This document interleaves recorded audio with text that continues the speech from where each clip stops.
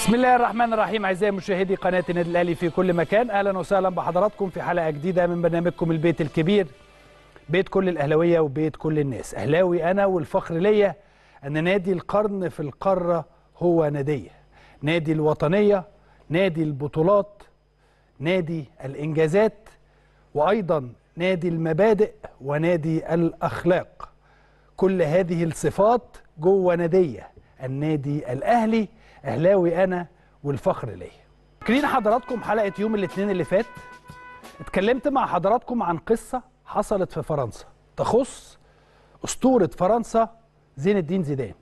اولا خليني أبدأ مع حضراتكم ونشوف فيديو جراف صغير كده ونشوف القصة دي وصلت لإيه وأنا عايز أقول إيه. لأن أنا تعليقي الحقيقة هيكون عندي فيه كلام مهم جدا جدا جدا وأكتر حاجة صعبانة عليا هي كرة القدم المصرية. خلينا بس نشوف توابع أزمة رئيس اتحاد كرة القدم في فرنسا وزيدان ونرجع نكمل مع حضراتكم.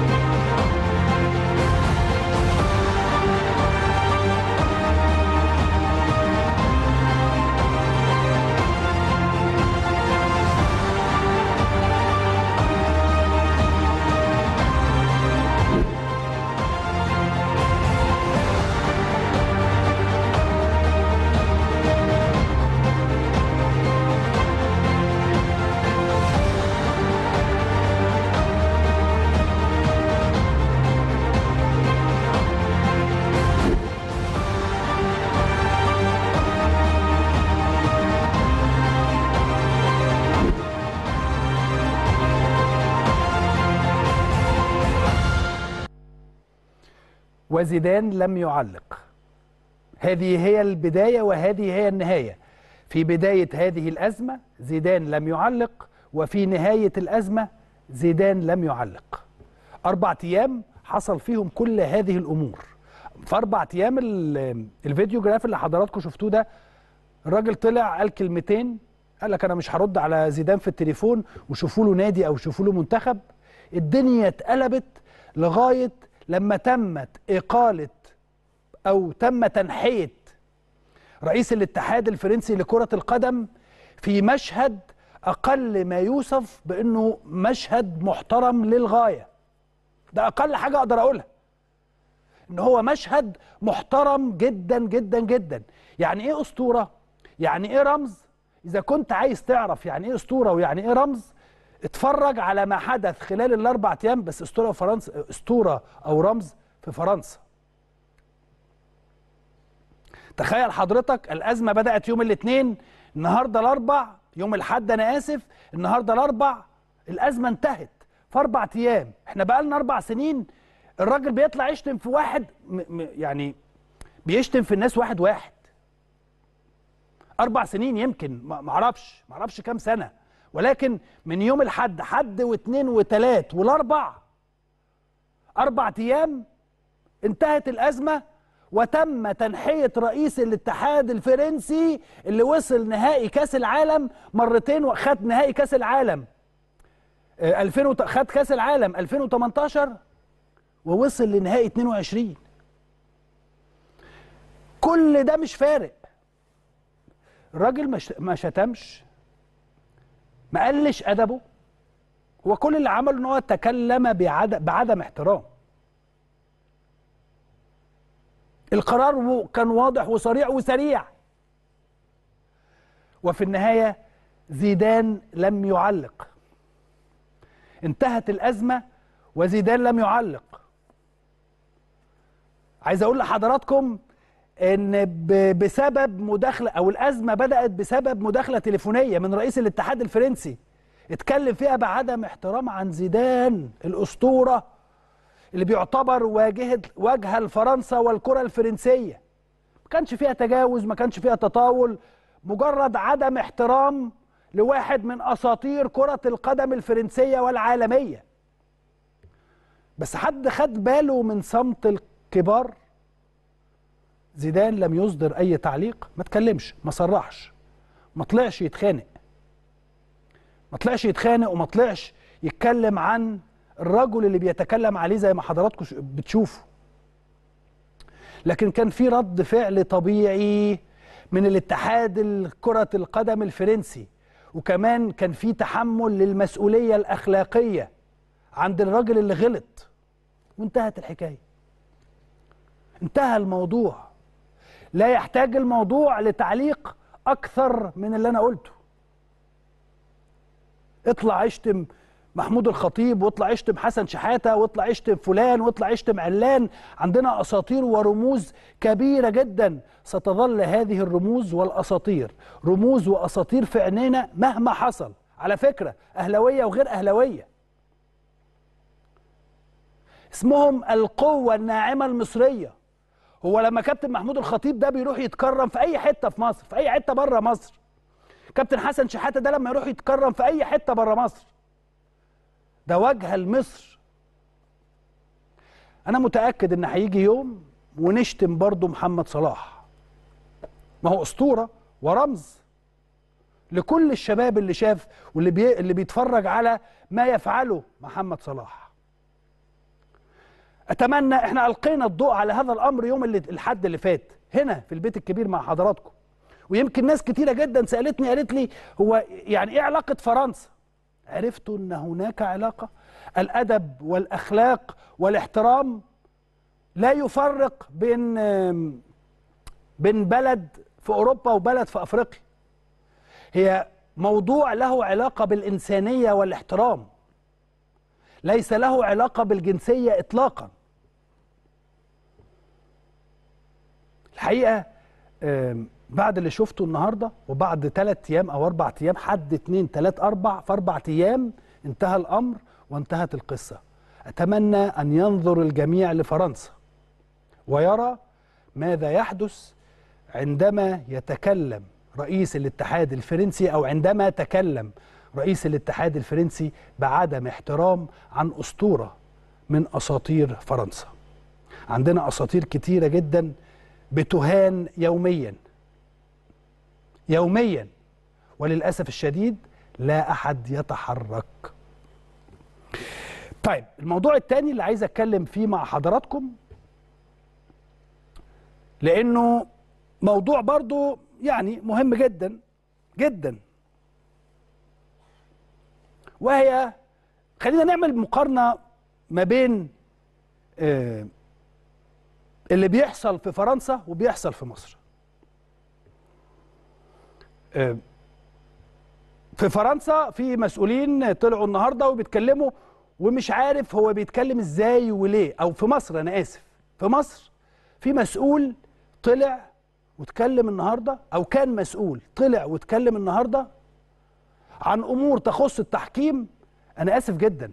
أنا عندما انتقد بنتقد أداء مرة تانية عشان ما حدش ياخدني لهذه المنطقة. أنا لا أنتقد وخليني أقول لحضراتكم أنا بتكلم عن مين مباشرة؟ أنا هنا بتكلم عن كابتن عصام عبد الفتاح. مع الزميل العزيز كابتن إبراهيم فايق في الراديو. كابتن عصام عبد الفتاح مع احترامي الكامل ليك ومع حبي وتقديري لشخصيتك اللي هي بعيدة عن الكلام اللي أنا هقوله حضرتك بوظت التحكيم في مصر. الأداء التحكيمي أنا آسف. حضرتك الأداء التحكيمي في مصر السنة اللي فاتت لم يكن مرضيا ل 17 نادي.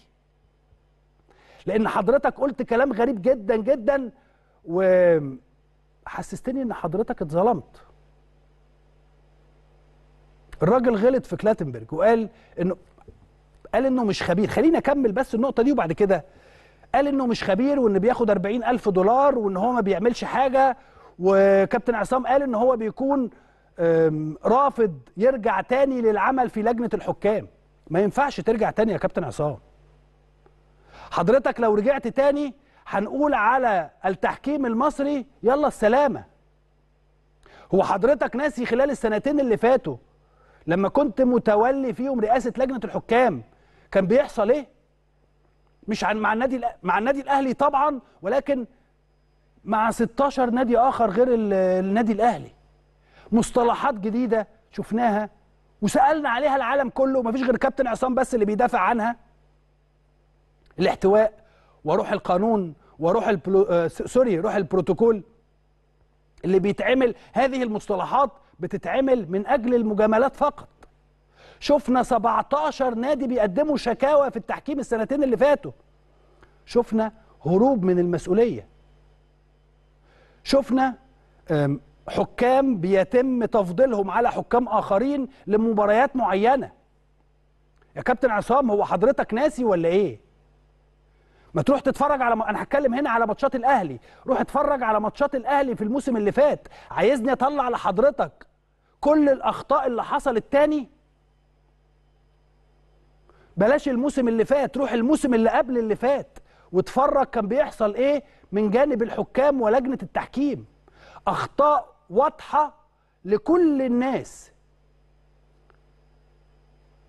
وجاي حضرتك لما الأمور اتظبطت بنسبة ولو بسيطة شوية لأنه ما بقاش فيه احتواء. تقول إنه ما حصلش حاجة وتغيير إيه اللي حصل ومفيش تغيير حصل والتحكيم بقى الأسوأ. كابتن عصام حصل تغيير. وإن كان بسيط. كابتن عصام حضرتك ممكن تقول لي فين التحكيم المصري في كأس العالم السنتين اللي فاتوا؟ يا كابتن عصام حضرتك وأنت موجود 34 حكم أجنبي. كانوا متواجدين. الأندية عايزة كده آه طبعا بس عشان الاحتواء كان بيحصل. ومن حق الأندية اللي عايزة حكام أجانب طبعا بعد المستوى الهزيل في أداء الحكام. المستوى الهزيل في أداء الحكام. كان من حقهم إن هم يطلبوا حكام أجانب. على الأقل الحكم الأجنبي لما بيغلط بيغلط. هو حضرتك ناسي يا كابتن عصام إنه أزمة كابتن أمين عمر اللي حضرتك اتخليت عنه وكان المفروض يروح ضمن حكام كاس العالم اللي, فات في واقعة مؤسفة. هيفضل التاريخ يتذكرها طوال الوقت. قد إيه إن رئيس لجنة الحكام تخلى عن واحد من حكامه.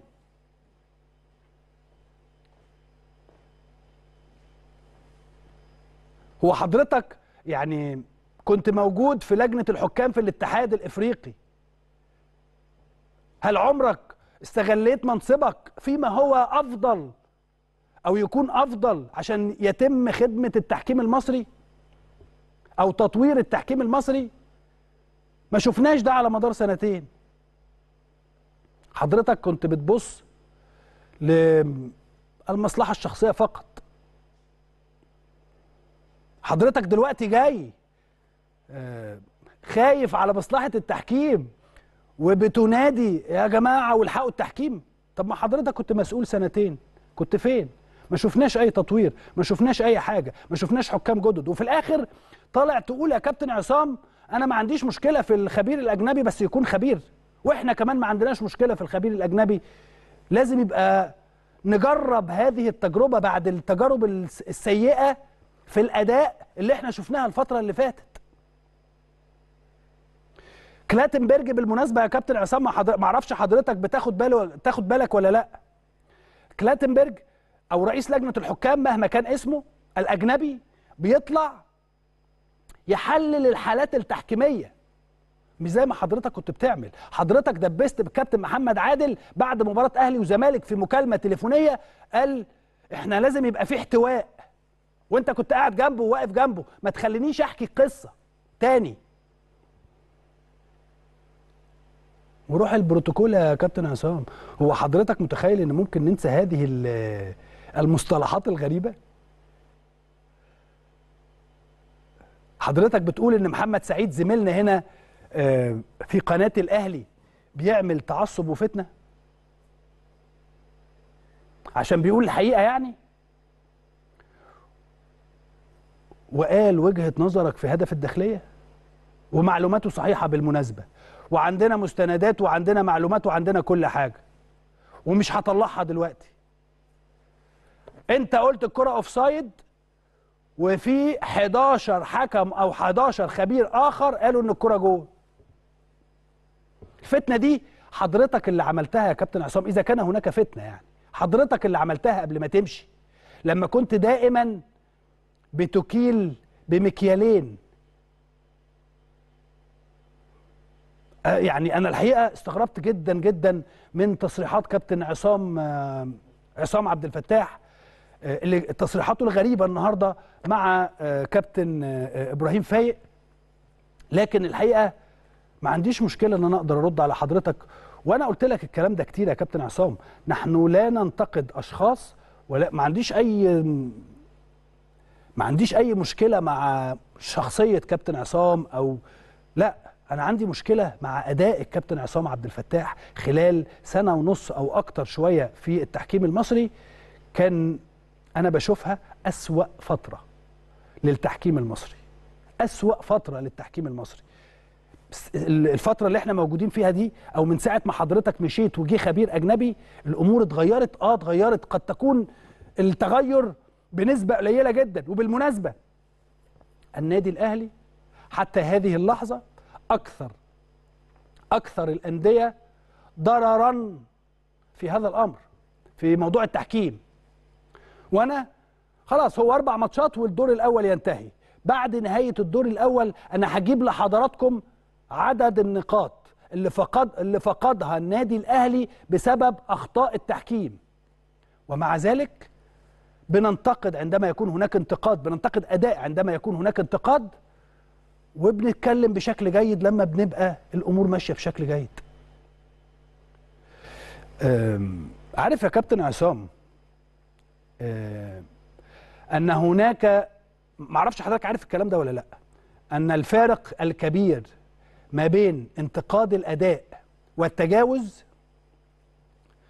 هقوله لحضرتك كلاتنبرج هو ده الفرق بالمناسبة وهو في اجتماعه مع اتحاد الكورة رغم ان أنا انتقدته في هذا البرنامج الجديد كتير جدا انتقاد أداء. الراجل قال أنا عارف مين اللي بيهاجمني هو نادي واحد.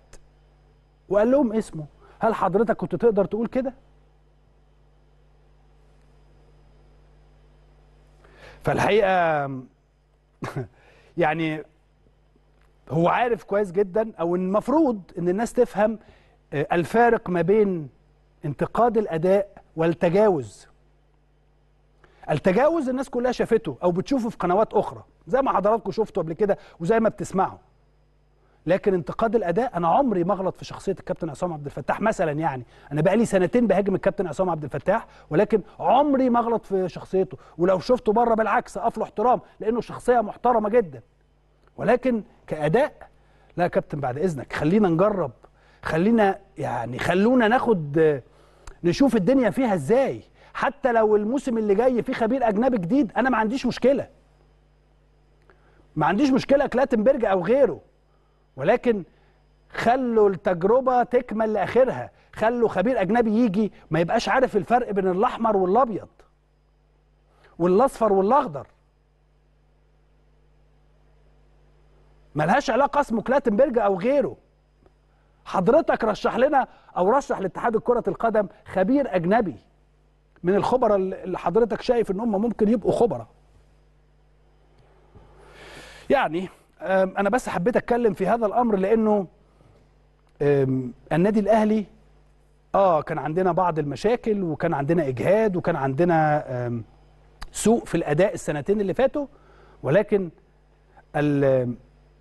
وجهة نظري أن ما حدث خلال السنتين اللي فاتوا وعلى الرغم من كل الحاجات اللي إحنا كان اللي كانت عندنا دي ولكن إحنا فقدنا مش عارف 15 ولا 17 نقطة.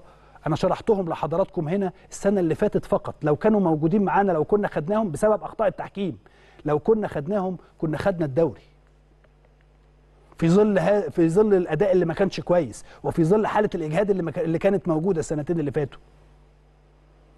ومع ذلك برغم أخطاء التحكيم كان ممكن جدا جدا لو ضفت 15 ولا 16 نقطة اللي وريتهم لحضراتكم السنة اللي فاتت كنا ممكن ناخد الدوري. ولكن قدر الله ما شاء فعل. ولا يلدغ المؤمن من جحر مرتين. محدش هيسكت على حاجة غلط. رئيس لجنة الحكام الخبير الأجنبي مهما كان اسمه هيغلط هنطلع نقول. كلنا قلنا يا جماعة إن هو ما ينفعش يروح ياخد يقعد شهر في كأس العالم وبعد كده يروح ياخد اجازة الكريسماس أسبوع ولا 10 أيام. كلنا قلنا هذا ك... وأنا قلت هذا الكلام هنا في البيت الكبير. وانتقدت ان في حالات لم يتم تحليلها بالفيديو.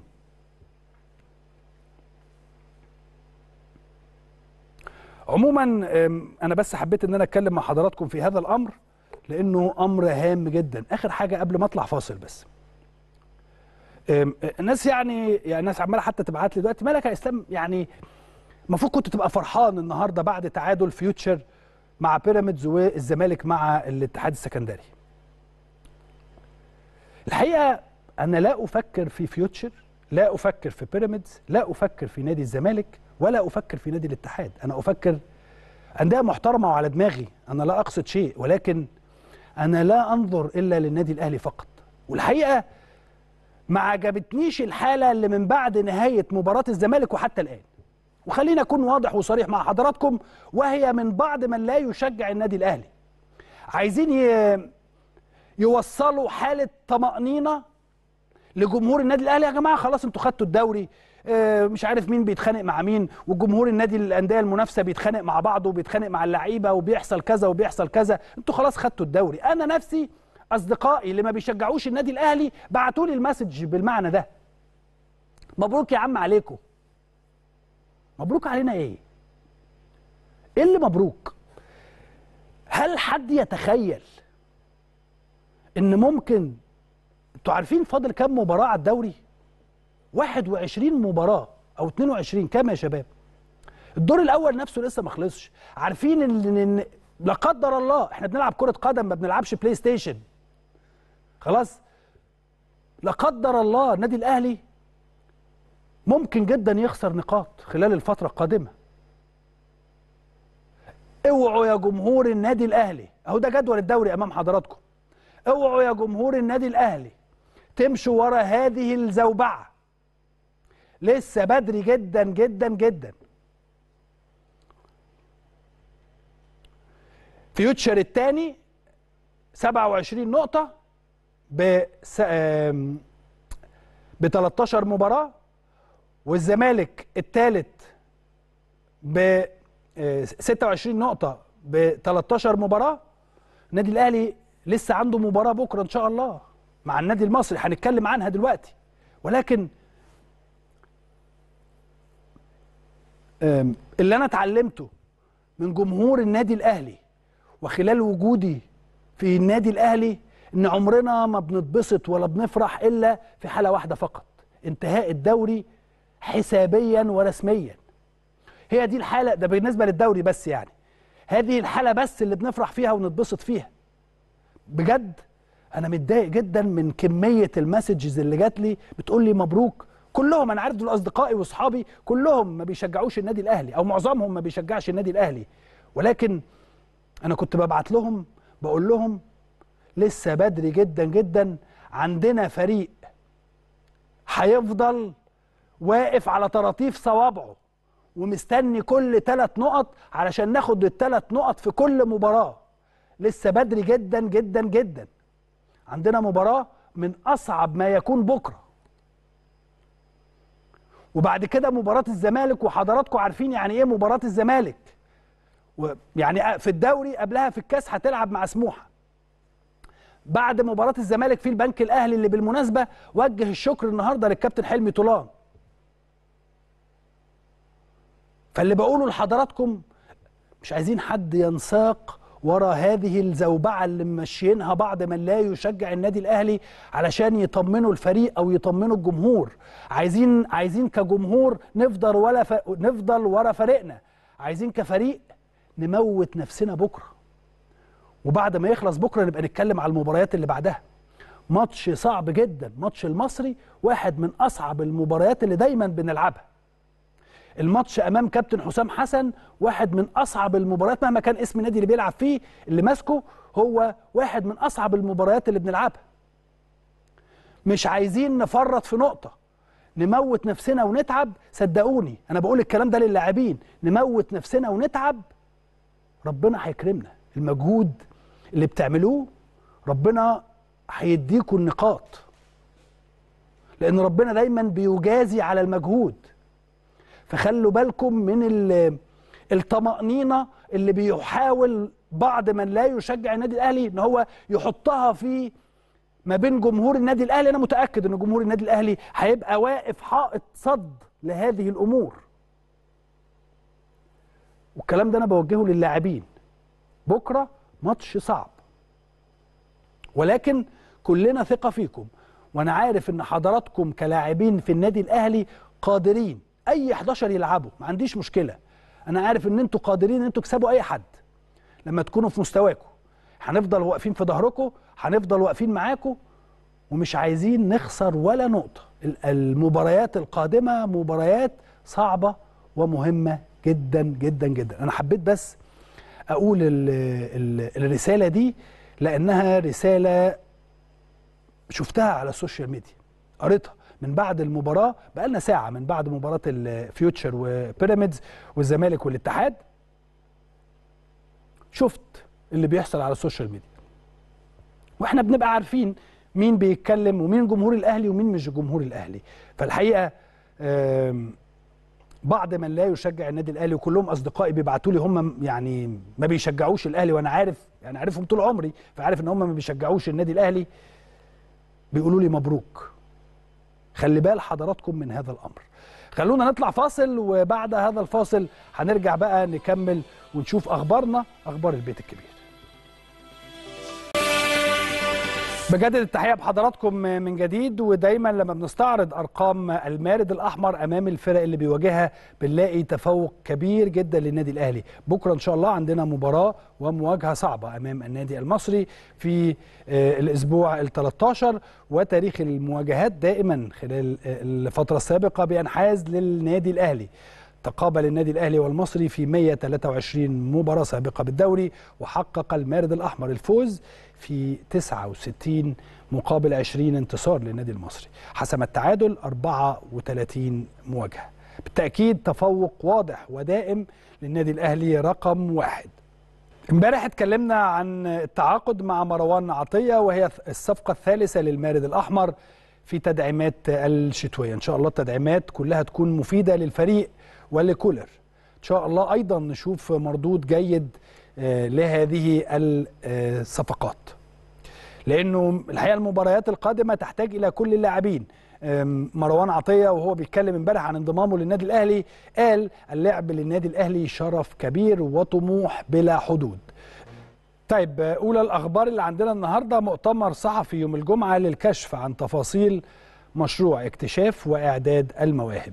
يعقد النادي الأهلي مؤتمرا صحفيا في الواحدة ظهر الجمعة بمقر النادي بالجزيرة بحضور الكابتن محمود الخطيب رئيس النادي وأعضاء مجلس الإدارة والسفير الهولندي في القاهرة للإعلان عن تفاصيل مشروع اكتشاف وإعداد المواهب وتنميتها حيث يجري يجرى توقيع العقود المشروع بين النادي وشركة أمستردام كلينيك الهولندية التي تتولى الإشراف على المشروع.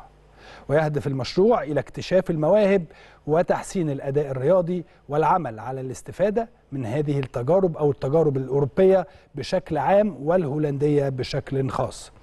حيث تمثل تجربة هولندا نموذجا مميزا في اكتشاف المواهب وتطويرها خاصة مع تحقيق مراكز متقدمة في الدورات الأولمبية حيث حققت نجاحات كبيرة على صعيد البطولات والميداليات. أيضا إلى جانب توسيع قاعدة ممارسة الرياضة وتعتمد آلية عمل المشروع على اكتشاف المواهب من سن 4 إلى 16 سنة. من خلال إقامة تجمعات دورية في فروع النادي بمدينة نصر والشيخ زايد والتجمع الخامس ومن خلالها سيقوم فريق من الخبراء الهولنديين بعمل قياسات واختبارات للمواهب المختلفة وبناء عليها يتم تقسيم الجميع إلى عدة فئات تتعلق بدرجة الموهبة والاستعداد لممارسة اللعبات وفقا لإمكانيات وقدرات كل لاعب مع وضع برامج فائقة لتنميتها بالشكل المناسب. ويخضع المتقدمون للاختبارات للتقييم مستمر لمدة ستة أشهر. فيما سيتم تنظيم فترات معايشة في هولندا للمشاركين في المشروع من جانب النادي الأهلي مع توجيه العناصر المميزة للالتحاق بأكاديميات اللعبة المختل... اللعبات المختلفة بالنادي. مما يوفر فرصة للكشف عن مواهب مميزة تكون نواة لفرق النادي مستقبلا.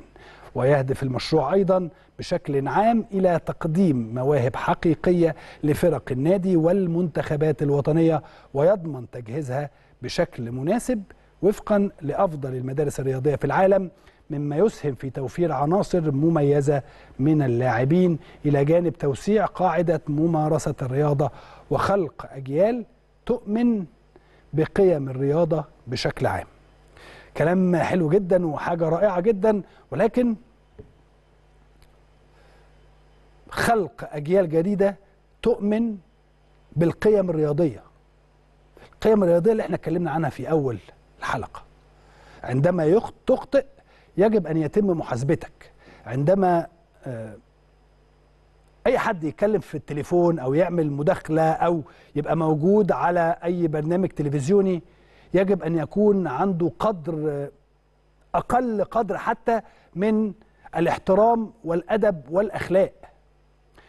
ما ينفعش إن أنا أطلع أتكلم لأنه في أجيال كثيرة جدا جدا جدا قد تكون بتسمع الناس اللي بتتكلم في التلفزيونات. كل الناس وكل البرامج وكل كل البرامج بتتشاف وكل الناس بتتشاف وكل حاجة. لكن في النهاية يجب أن يكون هناك احترام. ودي دايما القيم اللي بنتكلم عليها في النادي الأهلي والأخلاق اللي بنتكلم عليها في النادي الأهلي ودايما سنلتزم بأخلاق وقيم ومبادئ النادي الأهلي لأن دائما سيظل الصمت هو لغة العظماء. مهما حدث من ضغوط ومهما حدث من أمور دائما الأمور الخاطئة يجب النادي الأهلي دايما بيعمل كده بيسلك المسالك القانونية في هذه الأمور وعمرك ما هتلاقي مسؤول بيغلط ابدا ابدا أو يبدي عدم احترام لأي حد مهما كان. أنا بس حبيت إن أنا أقول هذا الأمر سريعا جدا. لجنة الحكام أعلنت طاقم التحكيم لمباراة النادي الأهلي والنادي المصري في تمام الساعة السابعة في استاد الجيش ببرج العرب. كابتن وليد عبد الرازق حكم الساحة. كابتن سامي هلهل مساعد أول. كابتن عماد العقاد مساعد تاني. كابتن صبري إبراهيم حكم رابع. كابتن عبد العزيز السيد حكم فار. كابتن هاني خيري حكم فار مساعد. نتمنى لهم يا رب كل التوفيق طاقم التحكيم في مباراة بكرة. نتمنى التوفيق للطاقم التحكيم إن هو يقيم العدالة ما بين الفريقين الأهلي والمصري. الأهلي ليه هدف؟ عدت الكورة احسبها هدف. عليه هدف احسب احسب على النادي الأهلي هدف. ما عندناش أي مشكلة ولكن يجب أن يكون هناك عدالة تحكيمية. إن شاء الله كل التوفيق لكابتن وليد عبد العزيز. محافظ أسوان وليد عبد الرزاق ماشي.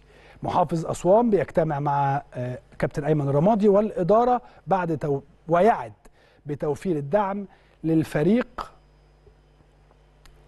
خلال الفترة القادمة. محافظ أسوان الحقيقة اللواء أشرف عطية كان عقد اجتماع مع مجلس إدارة نادي أسوان والجهاز الفني بقيادة كابتن أيمن رمادي. كابتن أيمن رمادي خلال الفترة السابقة أو خلال الأيام القليلة السابقة أعلن أنه لن يكمل مع نادي أسوان بسبب عدم تلبية بعض الطلبات الخاصة ليه مش ليه هو ولكن للفريق. وبالتالي اجتمع محافظ أسوان مع مجلس إدارة نادي أسوان ومع كابتن أيمن الرمادي ووعد بحل كل الأمور خلال الفترة القادمة ومطالبا الجميع بالحفاظ على الاستقرار واستثمار نجاحات الجهاز الفني واللاعبين.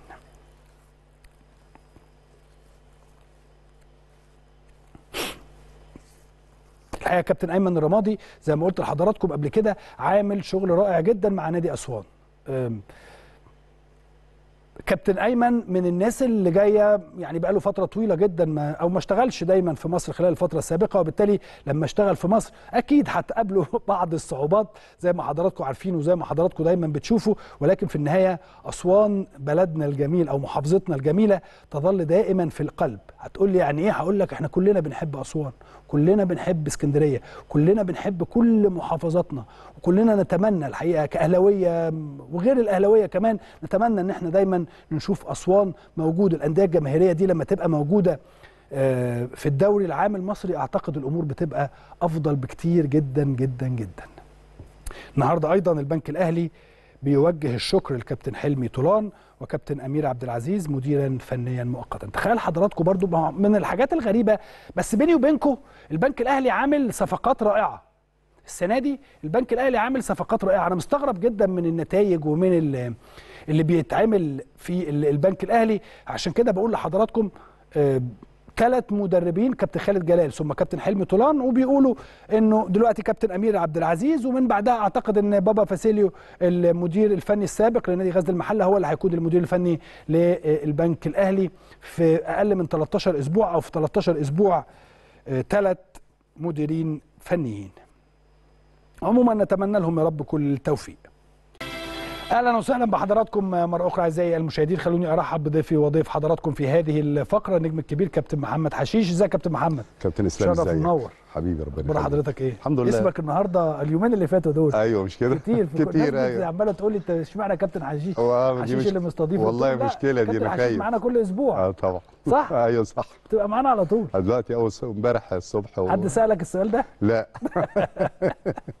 طيب خلينا نروح لل لل لمباريات الدوري العام النهارده الحقيقة اتفرجت على مباراة فيوتشر وبيراميدز آه، ما بينها وبين آه. آه مباراة تانية كده تخاطيف يعني عشان طبعا آجي يعني آه أيضا المباراة ال- ال- الأولى النهارده كانت الصبح أو المباراتين اللي كانوا الصبح كانوا الداخلية والبنك الأهلي وتعادل تعادل. الحقيقة مباراة حلوة قوي مم. 3 3 وسموحة بيفوز 2 1 على طلائع الجيش ومباريات رائعة برضو النهارده طول النهار النهارده مباريات حلوة. آه، بيبقى في أسابيع كده مميزة ومباراه قوية بين فرق سواء فوق أو تحت بتبقى صعبة.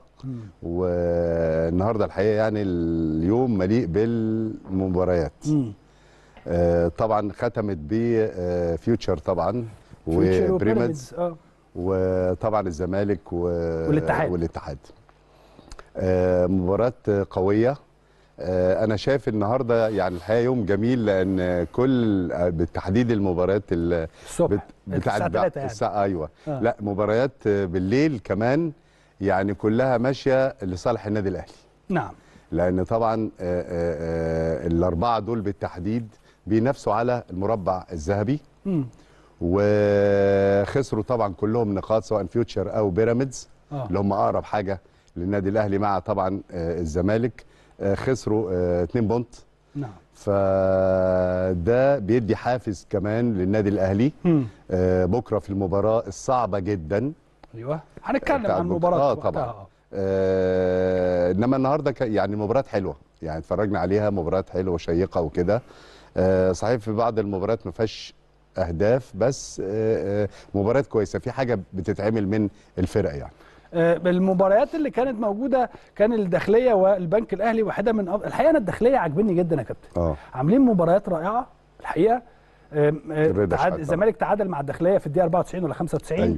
النهارده البنك الأهلي بيتعادل برضو في الدقائق الأخيرة من عمر المباراة بهدف من ركلة جزاء وبتتصد وبعدين ترجع تتعاد. تاني. صحيح. ف الداخلية مع كابتن رضا شحاته عاملين شغل كويس عاملين شغل كويس قوي والحقيقة هم من أقل الفرق اللي عملت تدعيمات. حقيقي. يعني ودي برضو حاجة عينيه يعني كويسة يا كابتن رضا شحاته عينيه كويسة. ممتاز. وبيع آه. وبيعرف وأهم حاجة في المدير الفني إنه بيعرف يلعب بإمكانيات فرقته. صحيح. ما بيبالغش في الدفاع ما بيبالغش في الهجوم مم. بيلعب كل مباراة على حسب الخصم وعلى حسب الأهم إمكانيات فرقته. البنك الأهلي وتعادل مع الداخلية و توجيه الشكر للكابتن حلمي طولان حاجة غريبة الحقيقة. دي بقى إحنا يعني أنا مستغربها جدا. يمكن أنا في المرة اللي فاتت اتكلمنا على موضوع تغيير المدربين في الدوري.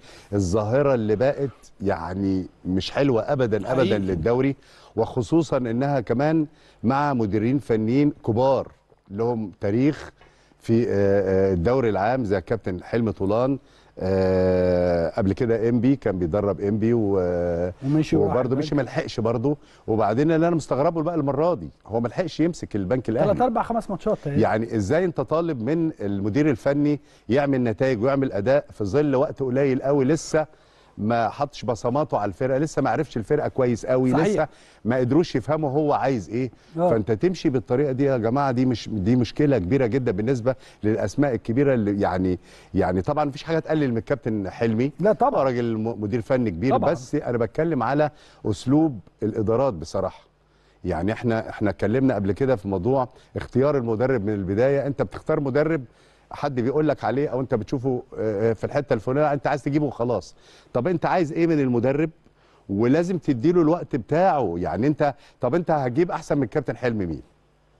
برضه ما هو اللي هيجيبه اللي سمعتك إنه بابا هيجيب فاسيليو آه آه، ما هو برضه نتائج ما انت شايف المحلة كانت برضه ماشية كويس واتكعبلت شوية لا وبعدين أنت كابتن حلمي بتجيبه طولان واحد من أكبر وأفضل وأحسن المدربين في مصر خلال ال 20 سنة الأخيرة إديله فرصة إسلام أنت بتتكلم عن الأسبوع ال 13 مم. أنت فاهم إزاي؟ الحقيقة كان قرار غريب يعني أنا لما سمعت أنا بقالي يومين ثلاثة. آه. أكيد كلنا بنسمع. يعني اليومين ثلاثة الوسط الرياضي قد كده فبنسمع كل بالظبط. حاجة ف اليومين ثلاثة اللي فاتوا يا كابتن كان الكلام عن إن كده كده كابتن حلمي كان البنك الأهلي هيوجه له الشكر آه. ويجي بابا فاسيليو مكانه. ما أعرفش إيه السبب يعني آه، إيه السبب؟ ما فيش جدا حاجة منطقية تتقال. آه. يعني ما فيش حاجة منطقية تتقال. الراجل برضه ماشي آه ممكن الن- النتائج بس لسه ما عملش حاجة. لسه مفيش كام ماتش. النتائج إيه؟ ما لسه ما لحقش يعني. آه ما أنا بقول لك. طب أنت جه في إيه ومشي في إيه؟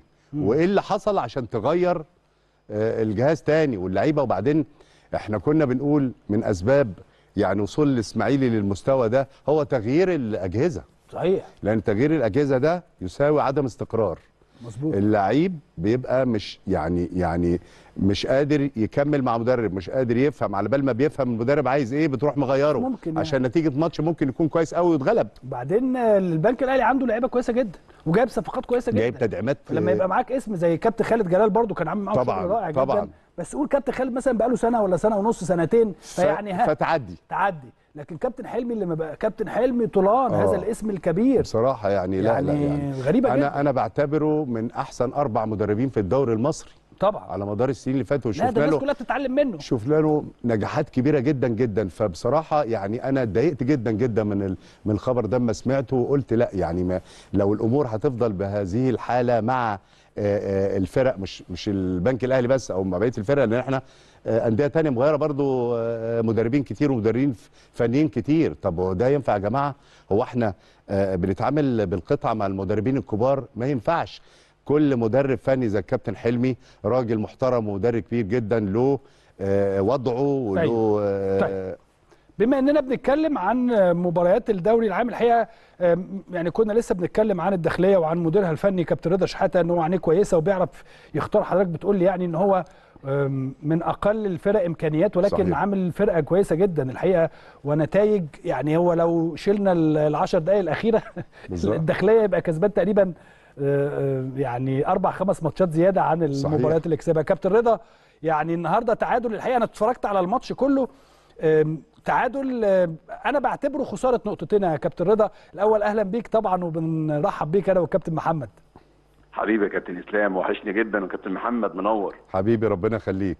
حبيبي ربنا يخليك يا رب. آه يا ريت يلغوا من بعد دقيقة 90 دي. يعني بعد الدقيقه 90 دي.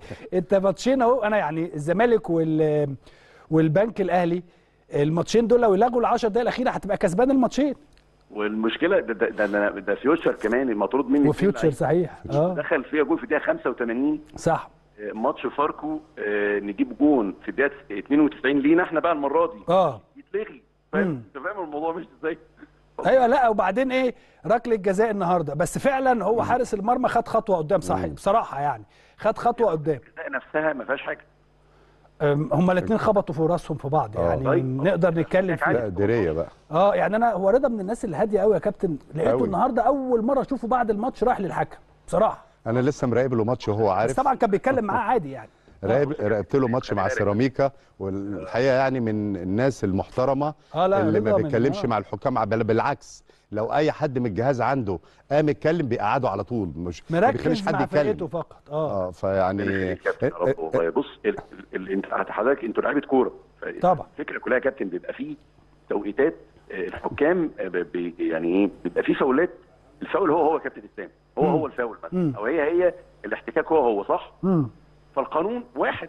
امم لا هو مش واحد.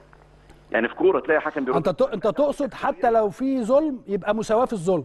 بس الله ينور أنا مش عايز أكتر من كده. امم أنا كل هدفي في في القصة أو اللي اللي عصبني بقى إن أنا إحنا إحنا إحنا الفترة اللي فاتت ظلمنا كتير جدا جدا. الموضوع صعب قوي مم. على فرقة بتكافح. زي ما أنت بتقول فرقة بتكافح مم. وبتحاول تعمل أحسن نتائج وبتحاول. فأنت النهارده أنا في فيما لا يقل عن 8 بونت أو 9 بونت النهارده أنا ت- ت- ت- تقديرات آه، تحكيم يعني. وال... وال... أنا ما عنديش مشكلة والله. الحكم يعمل اللي هو عايزه. ولكن يبقى المسطرة واحدة. أنا ما عنديش مشكلة. إنما يجي حكم يقول لي الكورة دي احتكاك طبيعي. يجي هي هي ليا يقول لك لا ده مش طبيعي دي ضربة جزاء. الله. آه. طب أنا أصدق مين؟ امم هي دي المشكلة اللي إنما أنا بالنسبة لي أنا برجع على فكرة أنا بعد ما دخلت حتى والله بعد الماتش أنا ما كلمتش لعيبة خالص. لا لا أنت حتى كنت بتتكلم مع الحكم بشكل أنا محترم. يعني. أنت بتسأله تقريبا أنا- عن أنا- حاجة آه. آه أنا أنا بتكلم معاه أنا بقول له ال ال أنا ما عنديش مشكلة تحسب اللي انت شايفه ولكن أنا كل اللي يهمني ان المسطرة تبقى واحدة ما عنديش أزمة في أي حاجة عشان انت عايز تطور المنظومة وعايز تطور أنا في ماتش حتى ماتش الزمالك الأخير مم. الكرة أصلا مش كورنر أساسا. مظبوط مظبوط. يعني حتى تق... أقول لك حاجة يا كابتن إسلام تقديريا نظريا عينيك انت كحكم واقف لا يمكن لا ألعب بالبوكس يجي ورايا. يعني لا يا كابتن أيوة، ما هو- رضا هو ال- المساواة في الظلم عدل أو المساواة في الكور في نفس الحالات عدل يعني. لأن أنت لو لو حسيت إن بتحسب عليك في كورة آه، حاجة معينة وهي هي بتتحسب في نفس الكورة على الفريق التاني مش هتتكلم. والله ما هفتح بقي. برافو عليك يا كابتن صح، يعني عليك. يعني هي دي هي دي ال- المشكلة. بس الأهم بقى إيه حكاية اجوان آخر لحظة دي. أنا عايزك تجيب لي كورة واحدة. هي كورة واحدة هقو- هقولها لك وبص عليها. مصطفى فوزي في ماتش فاركو الجول الثاني في الدقيقة 90 مم. نفسي أعرف الوحيد اللي حسبها الحكم. آه يعني أنا برضو. بيني وبينك أنا ركلة الجزاء آه أنا عمال أفتكرها دلوقتي لأن آه. أنا كنت قاعد بتفرج على الماتش عجبني أيوه، فاتفرجت عليه كله فضربة الجزاء ممكن برضو ما تتحسبش أو يعني نسبة. كبيرة فيها- فيها- ما فيها تتحسبش طبعا. بالظبط كده. لكن هو الحارس المرمى مثلا في البتاع لا آه، تتعاد ماشي شوف انت ماشي. شفت أنت بتقول إيه آه. بتقول دي طب معلش يعني فيهاش. إنما آه، الكورة اتفضل. كذا اتفضل يا كابتن رضا. اتفضل يا كابتن رضا أنا هسألك سؤال تاني اتفضل لو هيعيدها لكل الناس أنا آه. طبعا لا لا ما هو طبعا بس أنا هسألك سؤال تاني هل. في- الماتشات كلها في الفرق كلها. الحاجات دي بتتعد؟ لا ما بتتعدش في ناس بتدخل ال 18 وما بتتعدش وفي ناس بتبقى طالعة خطوة وما بتتعدش يا إسلام. على حسب- تلات آه، أرباعها ما تلات أرباعها ما بتتعادش. بس خلي بالك يا رضا. بص يا رضا في ماتش الأهلي وسموحة افتكر كده وهقول لك. في ماتش الأهلي وسموحة هاني سليمان مسك الكرة 16 ثانية. طيب مثلا أنت المفروض ليك ست ثواني. من بعد الماتش ده لغاية دلوقتي أي حارس ما بيمسكش الكرة أكتر من ست ثواني. طالما بت بت بتسلط الضوء على خطأ حصل خلاص هو حصل عندك أنت في فرقتك. لكن أنا أعتقد إن بعد كده هتلاقي كل الناس واخدة بالها من ركلات الجزاء. بعد كده يعني كل الحراس. أيوه ما أنا- أنا- يا كابتن إسلام أنا قصدي إيه؟ لما يبقى عندي خطأ في هقول لك حاجة تانية. اتفضل. ماتش المحلة. مم. ضربتين جزاء ضربتين جزاء النهارده بت- بت- بت- بتتعاد تاني في ماتشات تانية ما بتتحسبش أصلا. برضه. هي دي الفكرة إن أنا اللي أنا اقصده أنا ما عنديش مشكلة في قا- انت عايز مسطرة واحدة. بس كده أنا إيه إيه، لمست. بص يقول لك إيه لو شد وشده خفيفة تتحسب لا طبعا مفيش حاجة اسمها كده في الكورة يا كابتن. صحيح. أو أو مفيش حاجة اسمها في الكورة احتكاك عادي وإحتكاك مش عادي. مش معنى أنا عندي كله مش عادي. هو ليه ما عنديش أنا احتكاك عادي برضه؟ يعني ال- الاوبشن ده مش في الداخليه ليه؟ هو الظاهر الظاهر ان انت لازم تتعود على الموضوع ده بقى. آه يعني, يعني لازم تهدي. اعصابك بقى وتتعود على الموضوع ده. لا بص يا كابتن انت عارفني كابتن حشيش انت عارفني. أنا هادي جدا عموما. أنا عارف طبعا. و... و... وأنا دايما بنقل للعيبة الهدوء. ولكن أنت وصلت لمرحلة إن أنا النهارده أنا النهارده خسران حوالي ثلاث أربع ماتشات متعادلهم. أنا ما اتعادلهمش. طب حضرتك انت عارف آه. يعني ستة بونت النهارده مع التس... مع العشرة بتوعك كان زماني فين؟ انت في حتة تانية. ده انت في منطقة تانية خالص. طبعا. آه. بالظبط. كده. فانت فانا أنا بتظلم. يعني دي الموضوع صعب علينا برضو. إحنا برضو والحقيقة رضا برضو ولاعيبه صغيرة في طبعا. بالك برضو. أنا عندي مشكلة برافو عليك. آه. إن أنا لعبت صغيرة في السن. برضه الحاجات دي بتفرق معاهم. إنه يكسب ماتشين ثلاثة نفسيا بيعلى معايا. إنما دلوقتي آه، كورة غلط حسب غلط. آه، ضربة جزاء مش ضربة جزاء. handball مش handball تتحسب. آه، أضيع الوقت كورة ما تتحسب. كل دي حاجات سلبية على اللعيب. طبعا. بس خليني أحيي برضو إدارة الداخلية على الجانب الآخر إنه في فترة لم تكن النتائج جيدة وكانت في الأول أول 3 4 5 ماتشات كان من الممكن جدا أن يتم التغيير ولكن الحقيقة آه، إدارة الداخلية عندها بعد نظر. يعني مثلا صحيح. إحنا كنا لسه بنتكلم عن إدارات أخرى آه، بتعمل يعني تغير ثلاث. أربع مدربين في أقل من 13 أسبوع يا رضا. ما ده ما ينفعش. يعني أنا وجهة نظري إنه ده ما ينفعش. طيب بص ال- إحنا إحنا أنا أنا قعدت مع إدارة مع إدارة نادي الداخلية. إحنا كان عندنا ثمان لعيبة من السنة اللي فاتت قدام. آه، جيت لي ثمان لعيبة. okay. فجبنا النادي الأهلي خمس لعيبة صغيرين وجبنا آه، سبع لعيبة أفارقة وجبنا اثنين خبرات اللي هو نجيب وقلم. ولسه جايبين داهش في في في شهر واحد. الفكرة كلها إن أنت عملت mix ال mix ده فأنت الطبيعي أول خمس ست ماتشات هو مفيش انسجام طبيعي. أو أنتوا. بدأتوا متأخر. كان معايا أبو المجد قال لي إن أنتوا بدأتوا صح. صح. إحنا لا ده أنا اللعيبة كمان أنا عندي لعيبة داخلة وأنا بقى وأنا بعد فترة الاعداد امم فطبيعي إن يحصل إيه؟ عندك خمس ست أنا أنا قلت لهم كده أنا قعدت مع لواء عثمان اتكلمنا إن أنا عندي خمس ماتشات الأمور مش تبقى أحسن حاجة. هي هيبدأ من الأسبوع الخامس النتائج وال- واللعيبة هتتحسن بشكل كبير. امم ده اللي إحنا متفقين عليه من أول يوم. وهم بيحترموا إن إحنا اتكلمنا في, في, اللي بيحصل يا كابتن ده كله متفقين عليه آه. متفقين عليه. فهو الراجل أنا كنت واضح معاه وهو واضح معايا أنا امكانياتي كذا أنا حدودي كذا وأنا حدودي حتى في كل التفاوض مع اللعيبة إحنا بنعمل حالة إن إحنا عايزين نعمل موسم كويس آه أنا مش عايز ألعب كورة تقليدية أو إن أنا النهارده الماتش بيعدي لا أنا عايز الناس تتصل لا بصراحة عاملين ماتشات الكل آه، على كورة على فكرة الكورة متعة أصلا. صحيح. قبل منافسة هي متعة. صحيح. فانا لازم اخلي الناس تحس ان في حاجة بتحصل في الملعب لا. وعاملين شغل كويس ودي يعني أنا عايز أقول لرضا كمان دي دي سمة الادارات العسكرية بصراحة الحتة دي مميزين فيها زي الداخلية وطلائع الجيش حرس الحدود يعني. بيبصوا لجوانب تانية برغم انها فرق كلها يمكن أقل مثلا أقل ممكن تلاقي. عقود لعيبة مش مش زي بقية العقود بتاع اللعيبة التانية نعم كابتن حشيش الفكرة كلها إن إن ال ال ال لو هو هو بص المشكلة كلها إن الإدارات لو أنت شايفينك بتتعب ومقدرين مجهودك صحيح. هو ده اللي أنا بقوله بقى بالظبط. إن هو رضا خلي بالك بعد ثلاث أربع ماتشات هو اتعادل ماتش وبعدين اتغلب ماتش. واتغلب التاني والتالت وبعدين رجع بعد كده من بعد الرابع فعلا أو الماتش الخامس أنا دايما الجيل بتاعي ده أحب أقعد أتفرج عليه أيوه، وأشوف رضا أيوه. بيعمل إيه وأشوف عماد النحاس صحيح. أشوف أحمد سامي أشوف أشوفهم بيعملوا إيه. برضه لأنه أتمنى لهم طبعا وأتمنى لكل النجاح لكن ببقى قاعد بتفرج وأنا يعني على أعصابي برضه صحيح. عايز أشوف الداخليه لأ الداخليه عامل ماتشات حلوة جدا صحيح. عامل م- يعني قدام الزمالك أنت بتلعب نادي كبير طبعا. عامل ماتش حلو جدا النهارده لأ النهارده يكسب عامل يكسب عام- عادي. عامل مع سيراميكا الماتش اللي راقبته آه سيراميكا بقى لو تشوف ال- كم اللعيب أكتر طبعا, طبعاً، طبعاً. فرقة في مصر دعمت السنة دي صحيح. سيراميكا بيلعبها وأكتر من ند وعامل ماتش كويس قوي متعادل معاها فلا ما هو الناس برضو بره حاسة بالموضوع ده وشايفة آه. شايفة إنه في مجهود عشان كده أنا بح- بحني بح- بحيي آه، آه، إدارة الداخلية يا كابتن صحيح، حشيش إن صحيح. هم اتفقوا وظبطوا أمورهم. وقال والداخلية إدارة الداخلية قالت لكابتن رضا دي إمكانيات دي إمكانياتنا مش هنقدر نعمل عن صحيح، كده صحيح. وكابتن رضا قال لهم طب يبقى هنستنى بعد الأسبوع الخامس أو السادس صحيح. بالفعل الأمور أصبحت جيدة وهذا ودعم. وفي ظهره ومكمل إن شاء الله آه. باذن الله يعني. وكابتن رضا أعتقد أنت المباراة اللي جاية عندك حرس الحدود على ما أتذكر. آه إن شاء الله. مباراة صعبة دي برضو خلي بالك لأنه حرس الحدود كابتن أيوب عامل شغل كويس جدا مع فريقه. طبعا مباراة صعب بص يا بص الدوري الدوري كله صعب. امم ما بقاش في ماتشات سهلة صحيح. الدوري خلاص. صحيح. ولكن إحنا عندنا خمس ماتشات ال- ال- ال- اللي ورا بعض دول مهمين جدا جدا بنسبة 90% هيخلي شكلك إيه؟ أو أنت رايح فين وجاي صح. صح. عندك مقاولين عندك آه، حرس حدود عندنا أسوان عندنا الفرق اللي هي معانا أو في الزون بتاعنا. إحنا نقدر نروح ونيجي معاها أوكي. آه، فمهمه جدا الماتشات دي بالنسبة ومهم قوي إنك تبدأ بقى يعني فاضل أربع مباريات على الدور الأولاني فمهم إنك تفنش الدور الأولاني كويس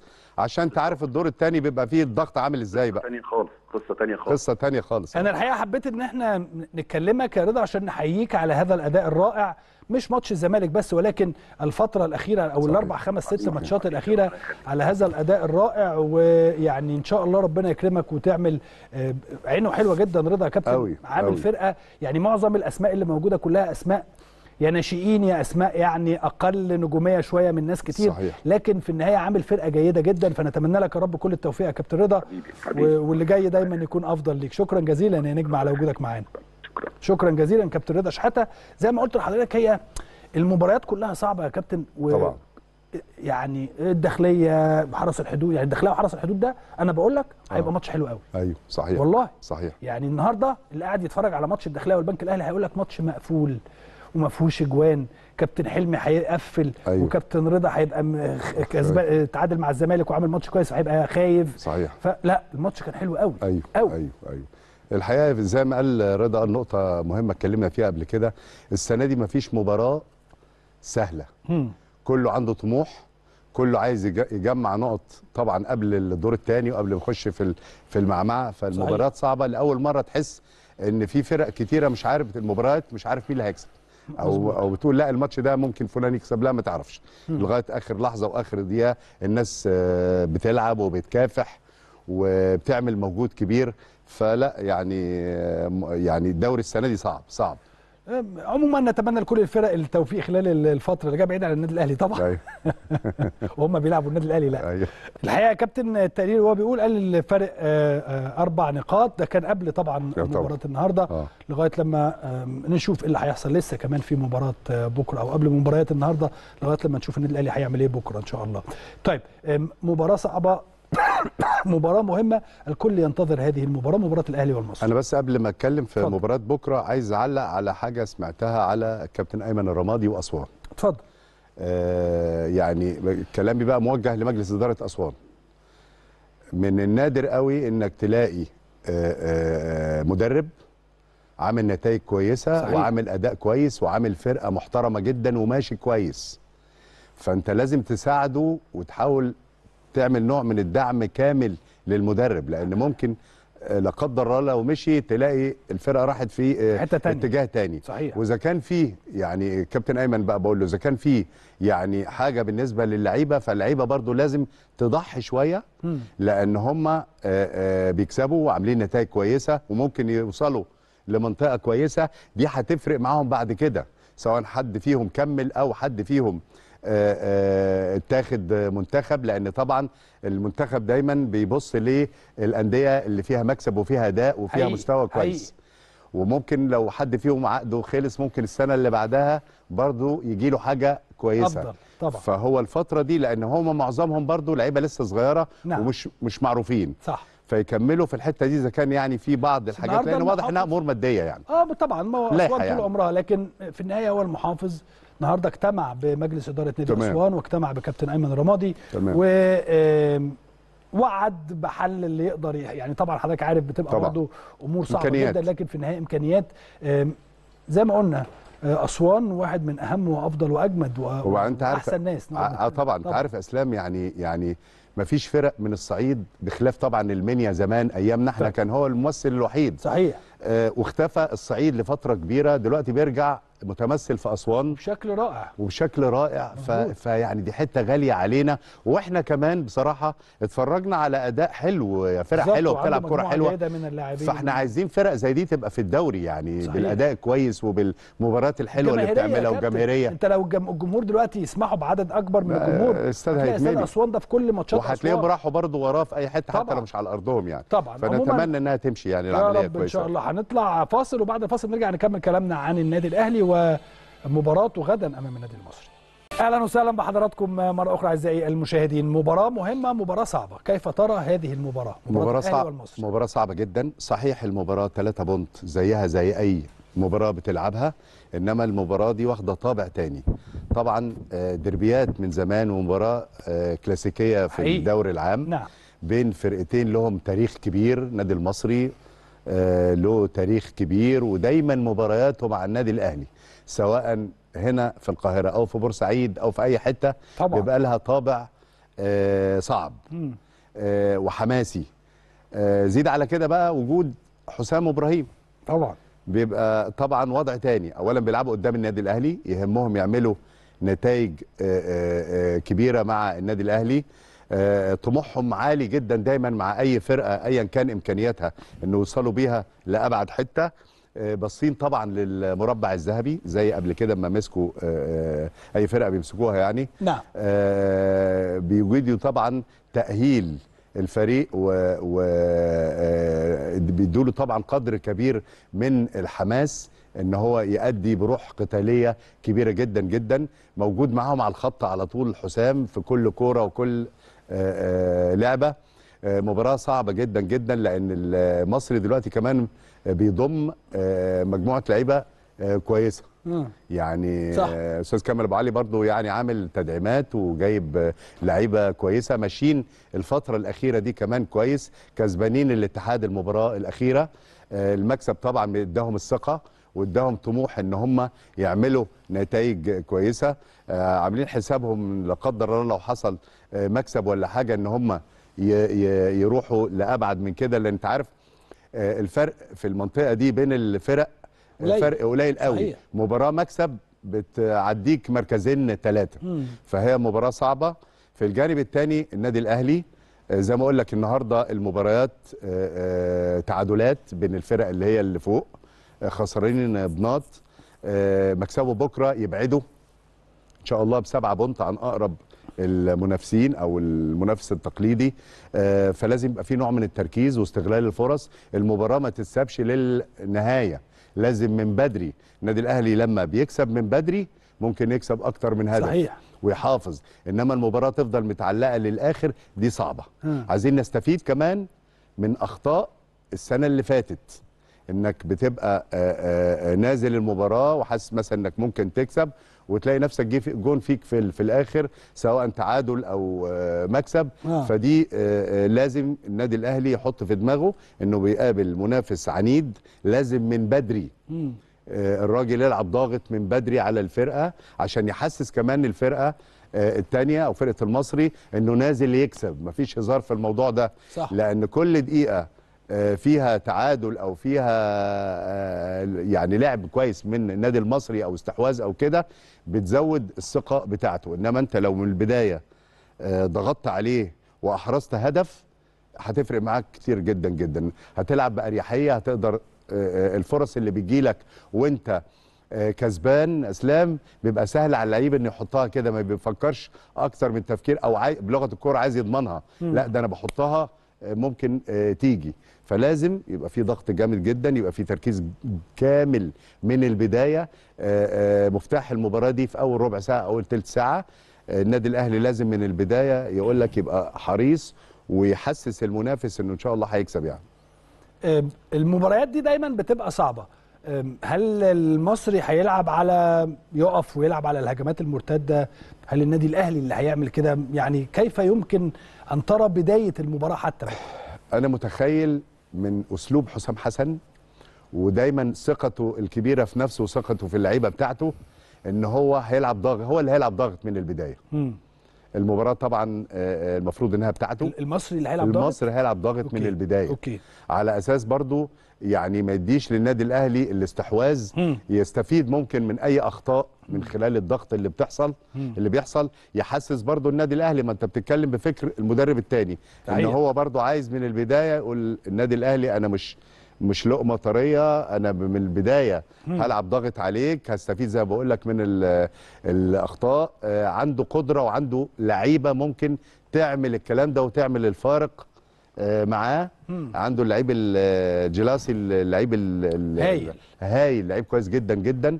فهي مباراة صعبة ومباراة مروان حمدي الحقيقة برضو راس حربة بيمر بفترة كويسة. كويسة ومحطة وراجل. وراجل هداف. فأنت في كل خط في لعيبة كويسة يعني مجموعة لعيبة كويسة ومعاهم مدرب كويس. صحيح. فأنت لازم تحط اعتبار جامد للموضوع ده.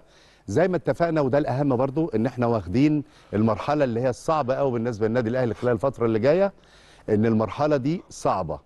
بنلعب ماتش ماتش. صح. المكسب بيجيب مكسب. عايزين نوصل ال target بتاعنا خلال الكام مباراة اللي هي قبل كأس عالم للأندية إنك تكون كسبان المباريات بتاعك بتاعتك وفارق عن المنافس ورايح كمان ده خلي بالك في في كأس العالم للأندية برضه على الأقل. نفسيا.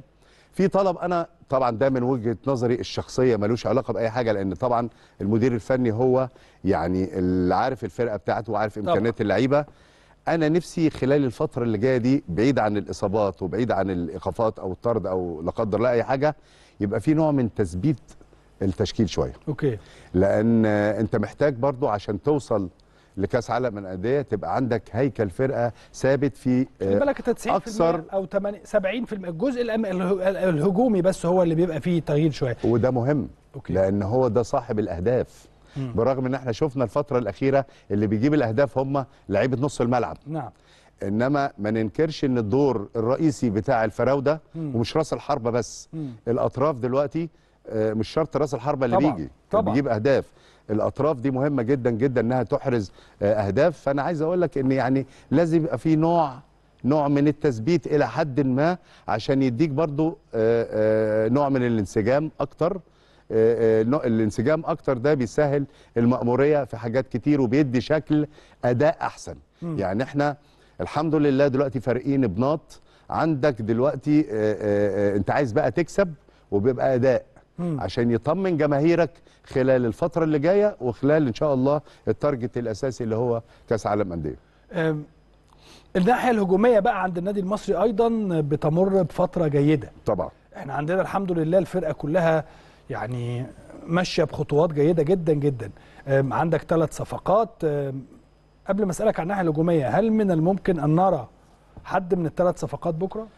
يعني أنا بستبعدها شوية لأن طبعا لسه ما بقالهمش آه، حاجة. ده بنتكلم إحنا على أسبوع مثلا أو أربع خمس أيام آه مثلا. التعاقدات فما ينفعش آه، ناس جاية من بره خالص آه، حتى وإن كان مستواها كويس إنها تبدأ المباراة. ممكن يحط بعض الناس آه، آه، في على دكة الاحتياط تحسبا لو يعني أنا بقول لو مثلا حصل نتيجة كويسة من البداية يقدر يدي برضو فرصة لحد يشارك عشان برضو ياخد إحساس الملعب مع الفرق الجديدة بالنسبة له. إنما عشان يبتدي بالناس دي طبعا صعب.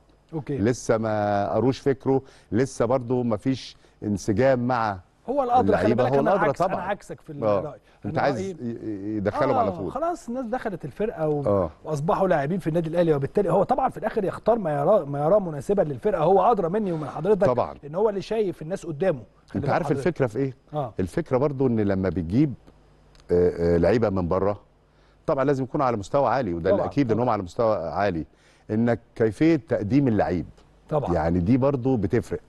آه، مباراة أصلها صعبة أوي. مباراة آه حماسيه برضه ممكن وجهة نظر فمم يعني هي نظر. هي مدارس يا أسلام في الموضوع ده هي مدارس. مدارس ده صح وده صح ده صح بال وده صح. آه فهو الاختيار زي ما بتقول أنت يعني لا أنا أنا ولا أنت أتذكر الكابتن حسام البدري لما كان مدير فني لما كان يجيب صفقة كان بيقعد 3 4 5 ماتشات ما يلعبوش بالظبط. فكانت الناس بتقول له طب أنت ما بتلعبهمش ليه؟ م- موسيماني العكس لما بيجيب صفقة بيلعبها جوزيه ايامكم بقى كان بيعمل جوزيه إيه؟ كان كده برضه كان برضه 90% يقعد آه آه يبقى في- زي ما بقول لك هي هي مدارس مدارس كل واحد ومدرسته هي مدارس يعني. وهو طبعا له ال- الحق الأصيل في كده وهو شايف كمان لأن ممكن برضه في بعض اللعيبة فيهم مش جاهز بدنيا مثلا لأن أنت عارف. برضه يا فترات ال- الانتقال لما اللعيب بي- بينوي إن هو خلاص رايح فرقة تانية بتلاقيه برضه إيه ريح شوية في فرقته. مم. ممكن ما يكونش بيلعب مثلا في فرقته ممكن ريح ما أو مشغولة آه، بالتعاقد هروح هنا ولا هروح هنا. فدي برضه بتأثر فلازم ياخد وقته الكافي ده رأيي طبعا الشخصي يعني. آه. طيب الناحية الهجومية للنادي المصري أكثر ما آه، تميز النادي المصري هي جريندو وإلياس الجلاسي طبعا. ومروان حمدي وأيضا ساعات محمد عنتر لما بيبقى موجود بيعمل. شغل كويس جدا. فبالتالي مجموعة هجومية جيدة ومن وراهم اثنين في وسط الملعب جيدين جدا وبالتالي هي فرقة جيدة النادي المصري.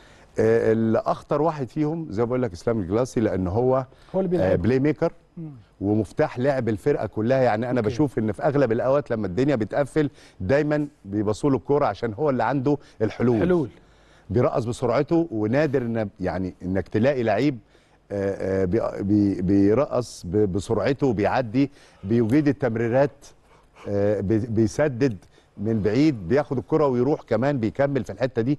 فهو طبيعة لعبه آه، مميزة الحقيقة. فأعتقد أن الراجل ده لو لو اتحط العين عليه من على حسب الطريقة اللي طبعا كولر هيلعب بيها سواء يقرب منه لعيب دايما يبقى ملازمه. لأن في بعض المدارس برضو تقول لك إيه أنا شيل حركة ال- المفتاح اللعب ده خلاص اللعيبة وقفت. أو بيبقى في واجبات للزون. يعني لو راح في حتة يبقى حد دايما قريب منه عشان ما يلفش بالكوره أو يلعب. كذلك برضو مطالب الديفنس عندنا ياخد باله من التمريرات لأن هو تمريراته الحقيقة كويسة وشفنا أكتر من هدف. آه، كمان هو آه، آه، يجيد الحتة دي وعنده لعيبة بتجري كتير وسرعات قدام. فالحتتين دول لو النادي الأهلي عرف يسيطر عليهم أعتقد إن بإذن الله الماتش هيبقى سهل يعني. عموما إن شاء الله تبقى مباراة جيدة و... وإن شاء الله يستطيع النادي الأهلي أن يفوز في هذه المباراة الصعبة واللي كل الحقيقة جمهور النادي الأهلي ينتظر أن يرى اداء جيدا. النتيجة دي دايما بتبقى بتاعت ربنا. طبعا. آه، لكن في النهاية هي مباراة آه، صعبة مباراة لها حساباتها الخاصة. دايما في مثل هذه الحساب مثل هذه المباريات الحسابات بتبقى مختلفة يا كابتن. يعني طبعا. كابتن حسام معروف طريقته معروف اسلوبه صحيح. من الناحية التكتيكية طبعا مدرب كبير وكل حاجة ولكن أيضا على الجانب الحماسي بيدي حماسة كبيرة جدا جدا للاعبين. آه، دي مميزاته. دي أكتر حاجة لأن أنت عارف اللعيب برضو آه، الشرقي أو المصري بالتحديد العامل النفسي بيفرق معاه قوي.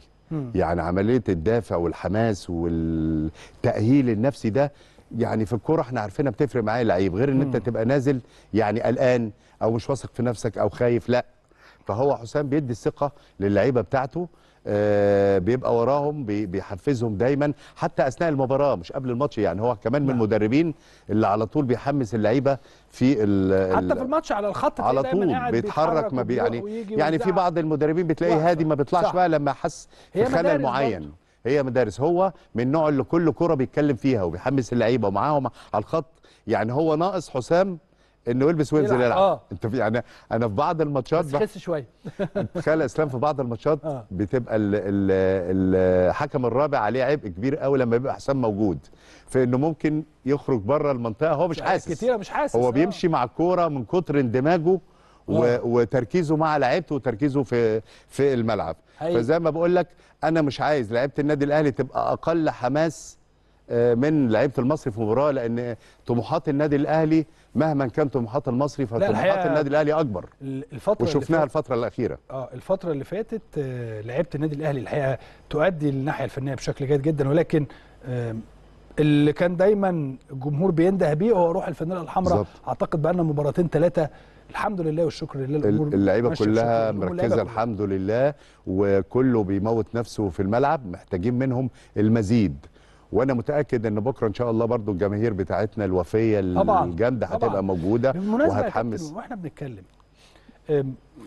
أنا جالي مثلا خمسة ستة مسجز من صحابي بيقولوا لي مبروك الدوري لا. والله خمسة ستة من صحابي منهم أربعة أو خمسة ما بيشجعوش الأهلي آه واللي بيشجع الأهلي ده بيثبتوك، ملوش في اللي بيشجعوك بيثبتوك. بالظبط كده. اللي هو حالة الطمأنينة اللي عايز بعد ما لا يشجع النادي الأهلي يقولها للجمهور أو يوصلها للجمهور وللاعبين.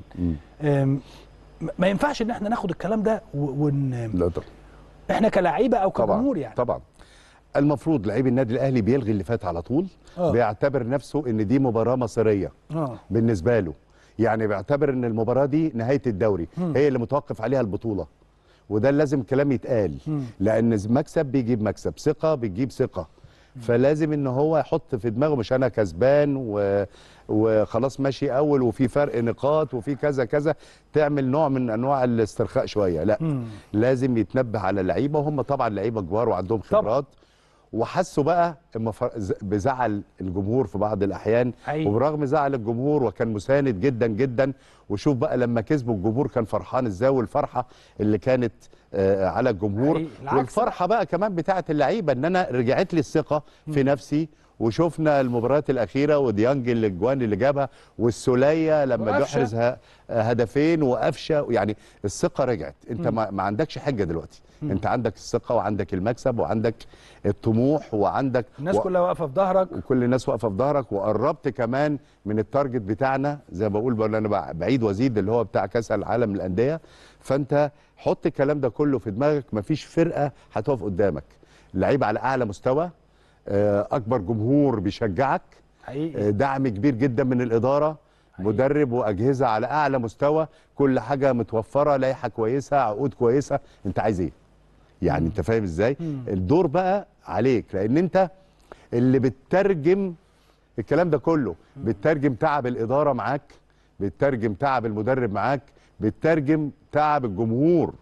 والمشوار اللي هياخدوه بكرة ويروحوا يتفرجوا على المباراة كل ده انت بتترجمه كلعيب.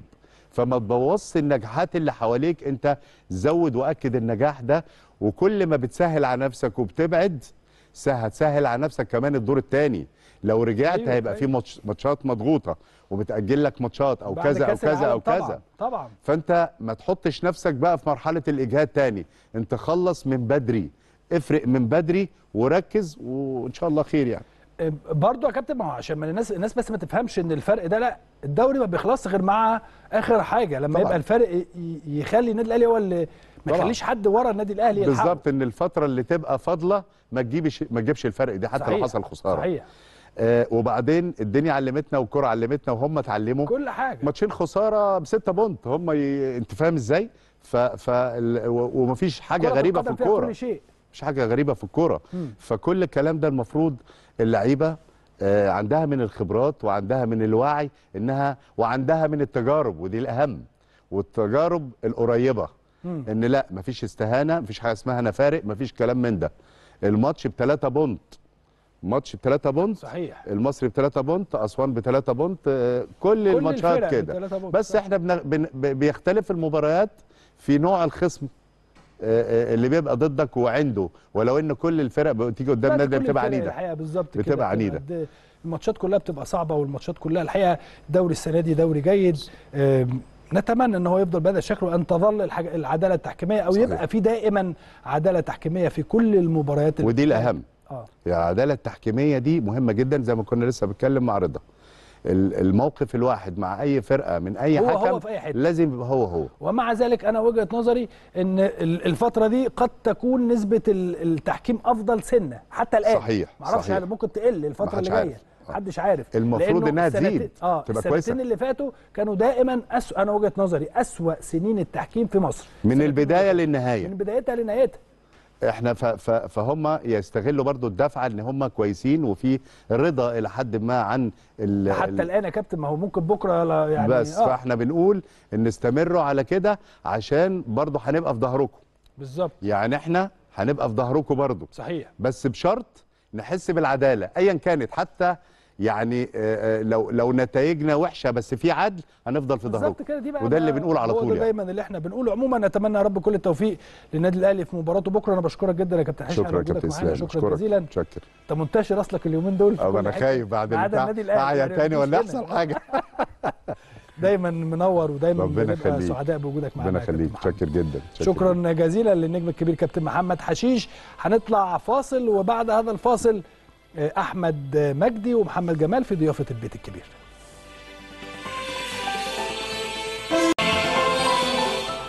أهلا وسهلا بحضراتكم مرة أخرى أعزائي المشاهدين. خلوني أرحب بضيوفي في هذه الفقرة. أحمد مجدي إزيك يا أبو حميد؟ إزيك يا كابتن كله تمام؟ زي الفل محمد جمال إزيك يا محمد إزيك يا كابتن. كله كويس؟ كله زي الفل. أجي لك أنا دلوقتي عشان إيه نتكلم عن التحكيم مع بعض لأن أنا وأنت دويتو في الموضوع ده. دويتو في الموضوع ده. ماشي. إزيك يا أبو حميد؟ إزيك يا كابتن. كله كويس؟ زي الفل الحمد لله. الأهلي والمصري مباراة صعبة مباراة مهمة. رايك في هذه المباراة؟ يعني أنا بشوف إن بيبقى في أحيانا يا كابتن بعض المحطات في أي مشوار آه، أي فريق عايز يتوج بال- بالبطولة بتكون فاصلة لطبيعة الخصم ولوقتها في الجدول. فالوقت ده اللي المنافس اللي إحنا اللي هو المنافس المباشر على المدى الطويل اللي هو نادي الزمالك. بيتعثر النهارده مع الاتحاد وفي فرصة لتوسيع الفارق لسبع نقط معاه وست عندك نقط. فيوتشر الثاني برضو آه وف- وست نقاط مع المنافس الحالي اللي هو اللي هو اللي هو فيوتشر في المركز الثاني وإنك تفرق فعلا بفرق معقول من النقاط قبل ما, ما, ما يعني توسع الفارق أكتر قبل السفر لكأس العالم آه، اللي قدام إن شاء الله مطلع مطلع فبراير. كل دي مكاسب بوابتها ماتش المصري ماتش المصري معقد مش مش عشان أي شيء فني لأن أنا. الأهلي مطمئن فنيا في في الآونة الأخيرة أو بالذات في الماتشين ال ال ال ال الآخر وماتش انبي على وجه التحديد ماتش بيراميدز وماتش انبي طمأنوا الجماهير وطمأنونا كمتخصصين بشكل بشكل كبير يا كابتن بس الشحنة اللي ممكن تبقى يحملها ال- ال- ال- الماتش في الملعب أقصد يعني آه، بين ال- يعني طبيعة الفرقة اللي بيدربها الكابتن حسام حسن وب- وال- طريقة الكابتن حسام طريقة الكابتن آه، حسام يعني اللي هي بتصعب المسائل على أي خصم مش على آه. الأهلي بس بس مع الأهلي بشكل بشكل خاص كفريق بيحاول ده حقه يعني آه لا لا مفيش أي مشاكل بس هو الكابتن حسام مع الماتشات الكبيرة سواء أهلي أو زمالك وبالذات ضد الأهلي بيحاول إنه دايما يظهر بأفضل أسلوب ممكن وده شيء شيء يعني ما, ما, ما نقدرش نلوم الكابتن حسام عليه طبعاً. بس نتمنى إن إحنا يبقى عندنا سيناريوهات فنية جاهزة لاستيعاب كل الشحنة اللي كابتن حسام هيديها للاعيبه المصري قبل المباراة. جيمي. بص يا كابتن في البداية أكيد ده مباراة صعبة مباراة قوية لكن النادي الأهلي الفترة دي محتاج كل ثلاث نقاط عشان يقدر إن هو يحافظ على صدارة الجدول وكمان يبعد بشكل كبير قوي. يمكن مباراة المصري مباراة فارقة مباراة إن أنت لو خدت ثلاث نقاط هتبقى توصل على 33 نقطة. الزمالك بعد التعادل طبعا قدام الاتحاد قبلها متعادل قدام الداخلية قبلها خسران قدام أسوان. فيوتشر ماشي بنتائج كويسة وموجود في المركز الثاني ولكن سيظل الأهلي والزمالك هم المنافسين على اللقب. ولكن الأهلي عنده فرصة جيدة جدا انه يبعد بالصدارة بشكل كبير. عنده كمان مباراة الزمالك بعد مباراة سموحه على طول في الكاس فلو قدر كمان يفوز بثلاث نقاط على نادي الزمالك هيكون قتل المنافسة بشكل كبير جدا من بدري بحيث إنه يروح كأس العالم مرتاح بشكل كبير جدا. يكون كمان استفاد من الفترة اللي فاتت الأهلي عنده إصابات بشكل كبير جدا. عنده كمان كان في فترة كده حصل هجوم بشكل كبير جدا على النادي الأهلي أنا مش عارف ليه بصراحة. طبيعي أي فريق في الدنيا يتعادل مباراتين يخسر مباراة الأهلي لحد دلوقتي ما خسرش في بطولة الدوري تعادل مباراتين ورا بعض. الدنيا كلها يمكن قامت وما عادتش على مارسيل كولر وعلى النادي الأهلي ولكن النادي الأهلي في مباراة بيراميدز كان ظهر بشكل ممتاز جدا. مباراة إنبي ظهر بشكل يمكن أفضل كمان من مباراة بيراميدز. بكرة مباراة المصري يمكن المصري في الفترة الحالية في كلام بشكل كبير جدا من الجهاز الفني إنه محتاج صفقات محتاج لعيبة. أه بشوف الكابتن إبراهيم حسن على طول في كل لقاءاته التلفزيونية بيتكلم إن المصري محتاج لعيبة جديدة تكون في شهر يناير محتاج من ست لسبع صفقات. ده يقول لك إن المصري أكيد بيعاني بس مش بيعاني على مستوى خط الهجوم هو بيعاني على مستوى خط الدفاع والوسط. لكن خط هجوم النادي المصري عنده لعيبة كويسة سواء جلاصي أو دغموم أو حتى مروان حمدي أو حتى جريندو لكن النادي الأهلي بكرة عنده برضو العناصر اللي تقدر تخلص المباراة من بدري أو تقدر تخليه يفوز من بدري بالذات في خط الهجوم الخاص بالنادي الأهلي. لو بصيت على النادي الأهلي الفترة اللي فاتت ماشي بشكل يمكن خط الوسط فيه بشكل زيادات بشكل كبير جدا في مباراة ال ال ال طبعا بيراميدز كان عمرو السولية هو نجم المباراة في مباراة انبي كان يمكن ديانج كمان بشوفه. هو كان أفضل لعيب المباراة في تكملة وزيادة مع ثلاثي حسين الشحات وعبد القادر وقفشة كمان بيقدر يكمل الزيادة دي. فأنا بشوف إنها مباراة يمكن يمكن الأهلي أكيد بشكل كبير جدا هو الأقرب ولكن الأهلي يمكن كمان يقدر يخلصها في الشوط الأول المباراة لو قدر يستغل العمق الدفاعي الخاص بالنادي المصري. طيب آه، صفقات النادي الأهلي. بشوف إنه الصفقات إلى حد ما يعني مرضية في الوقت الراهن يعني صفقة خالد عبد الفتاح. يعني لو جينا نشوف على مستوى ال back right في مصر مين أفضل المتاحين حاليا فعلا من من الدوري المصري تقدر تنتدبه عشان يسد الفراغ اللي هيخلفه أكرم توفيق وكريم فؤاد؟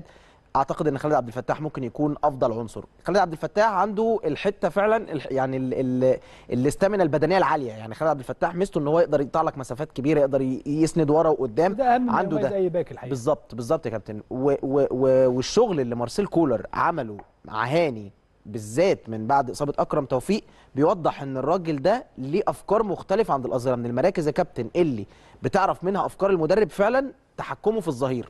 يعني تحكمه في الظهير وعلاقة الظهير بنص الملعب أنا بعت- بعت- بعتبر دي من الحاجات اللي بتبين مدرب عن التاني حقيقي. فأعتقد إن خالد عبد الفتاح عنده فرصة جيدة جدا أنا ما أقدرش أتكلم بوضوح على صفقة آه، محمد الضاوي كريستو من الفنية هنشوفه. الدنيا مبشرة طبعا يعني كل ما رأيناه عن الراجل مبشر جدا ولكن خلينا أقول إنه ال level اللي كان بيلعب فيه حتى في الدوري التونسي أنا بقول إن ال tempo هيعلى بيه جدا في مصر.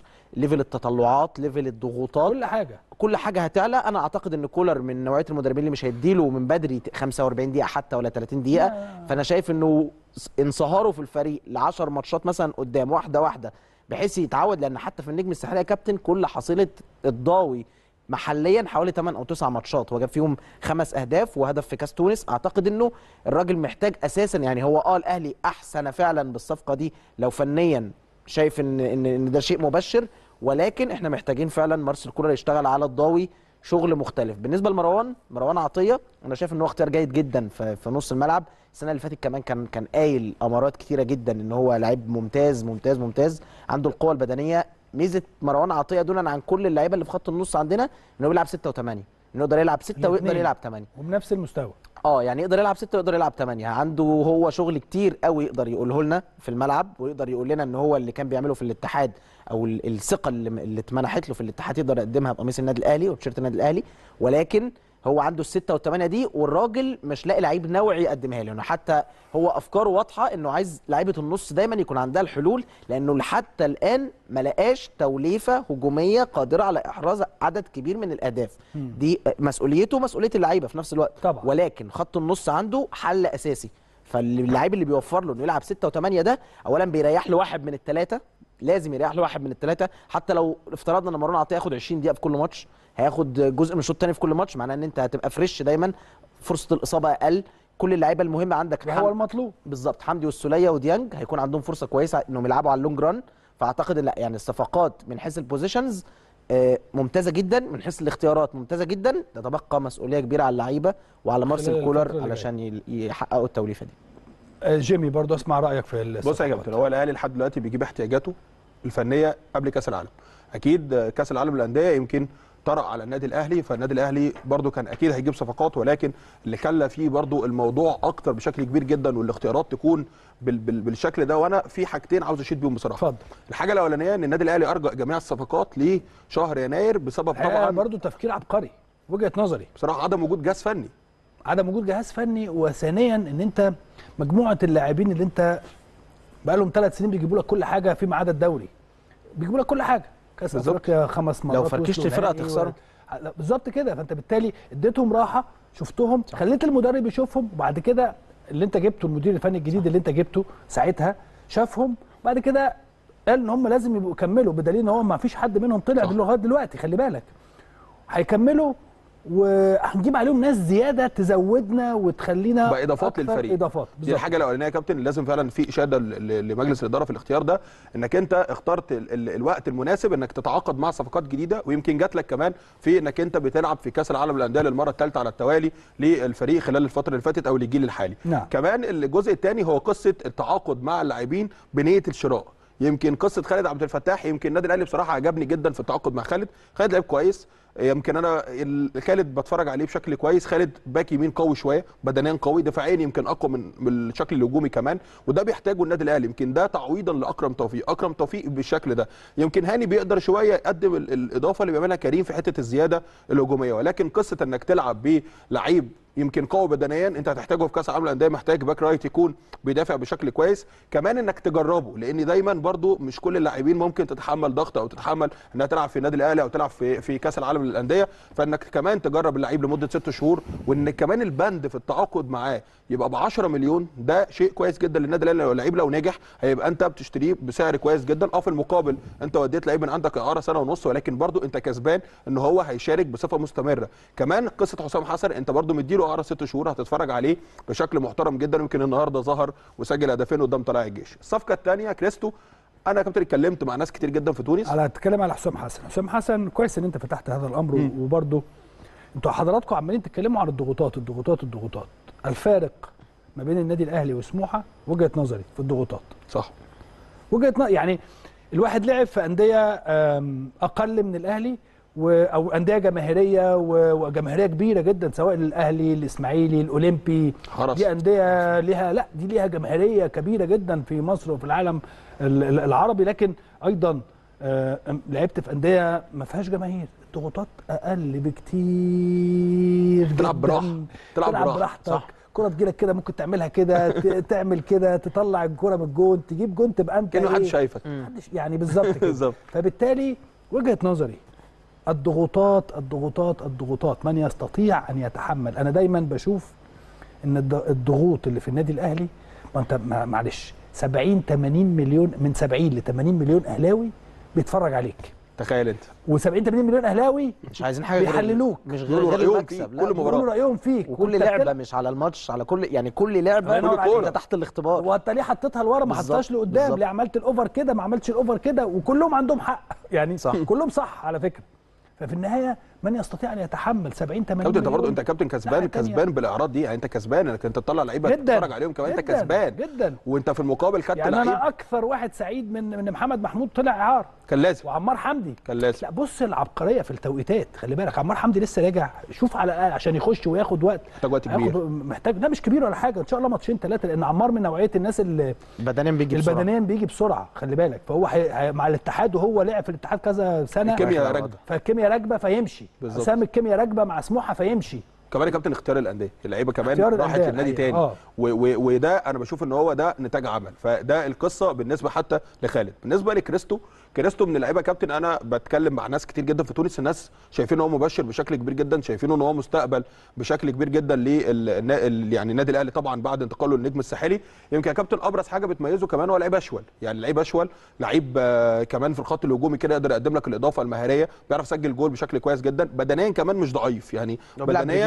آه آه برجل اليمين كمان بس هو بدنيا كمان مش مش ضعيف بيعرف يلعب كمان بدماغه. فده يقول لك إن هو مستقبل النادي الأهلي النادي الأهلي دلوقتي عنده اثنين في مركز المهاجم كمان بي بي يعني بنسمع في التقارير إن هو بيتفاوض مع مهاجم كمان أجنبي فأنت هيكون عندك كمان عدد كبير جدا من اللاعبين في القصة دي فيقدر يفيدك في الفترة الجاية كمان في دوري أبطال أفريقيا. اللعيب كمان الثالث اللي هو مروان عطية. يمكن يا كابتن أنا لما اتكلمت على ماتش الأهلي والمصري أو على مباراة الأهلي الفترة اللي فاتت اتكلمت على دور لعيبة نص الملعب مع مارسيل كولر وقد إيه هو مهم بالنسبة له الزيادة الهجومية.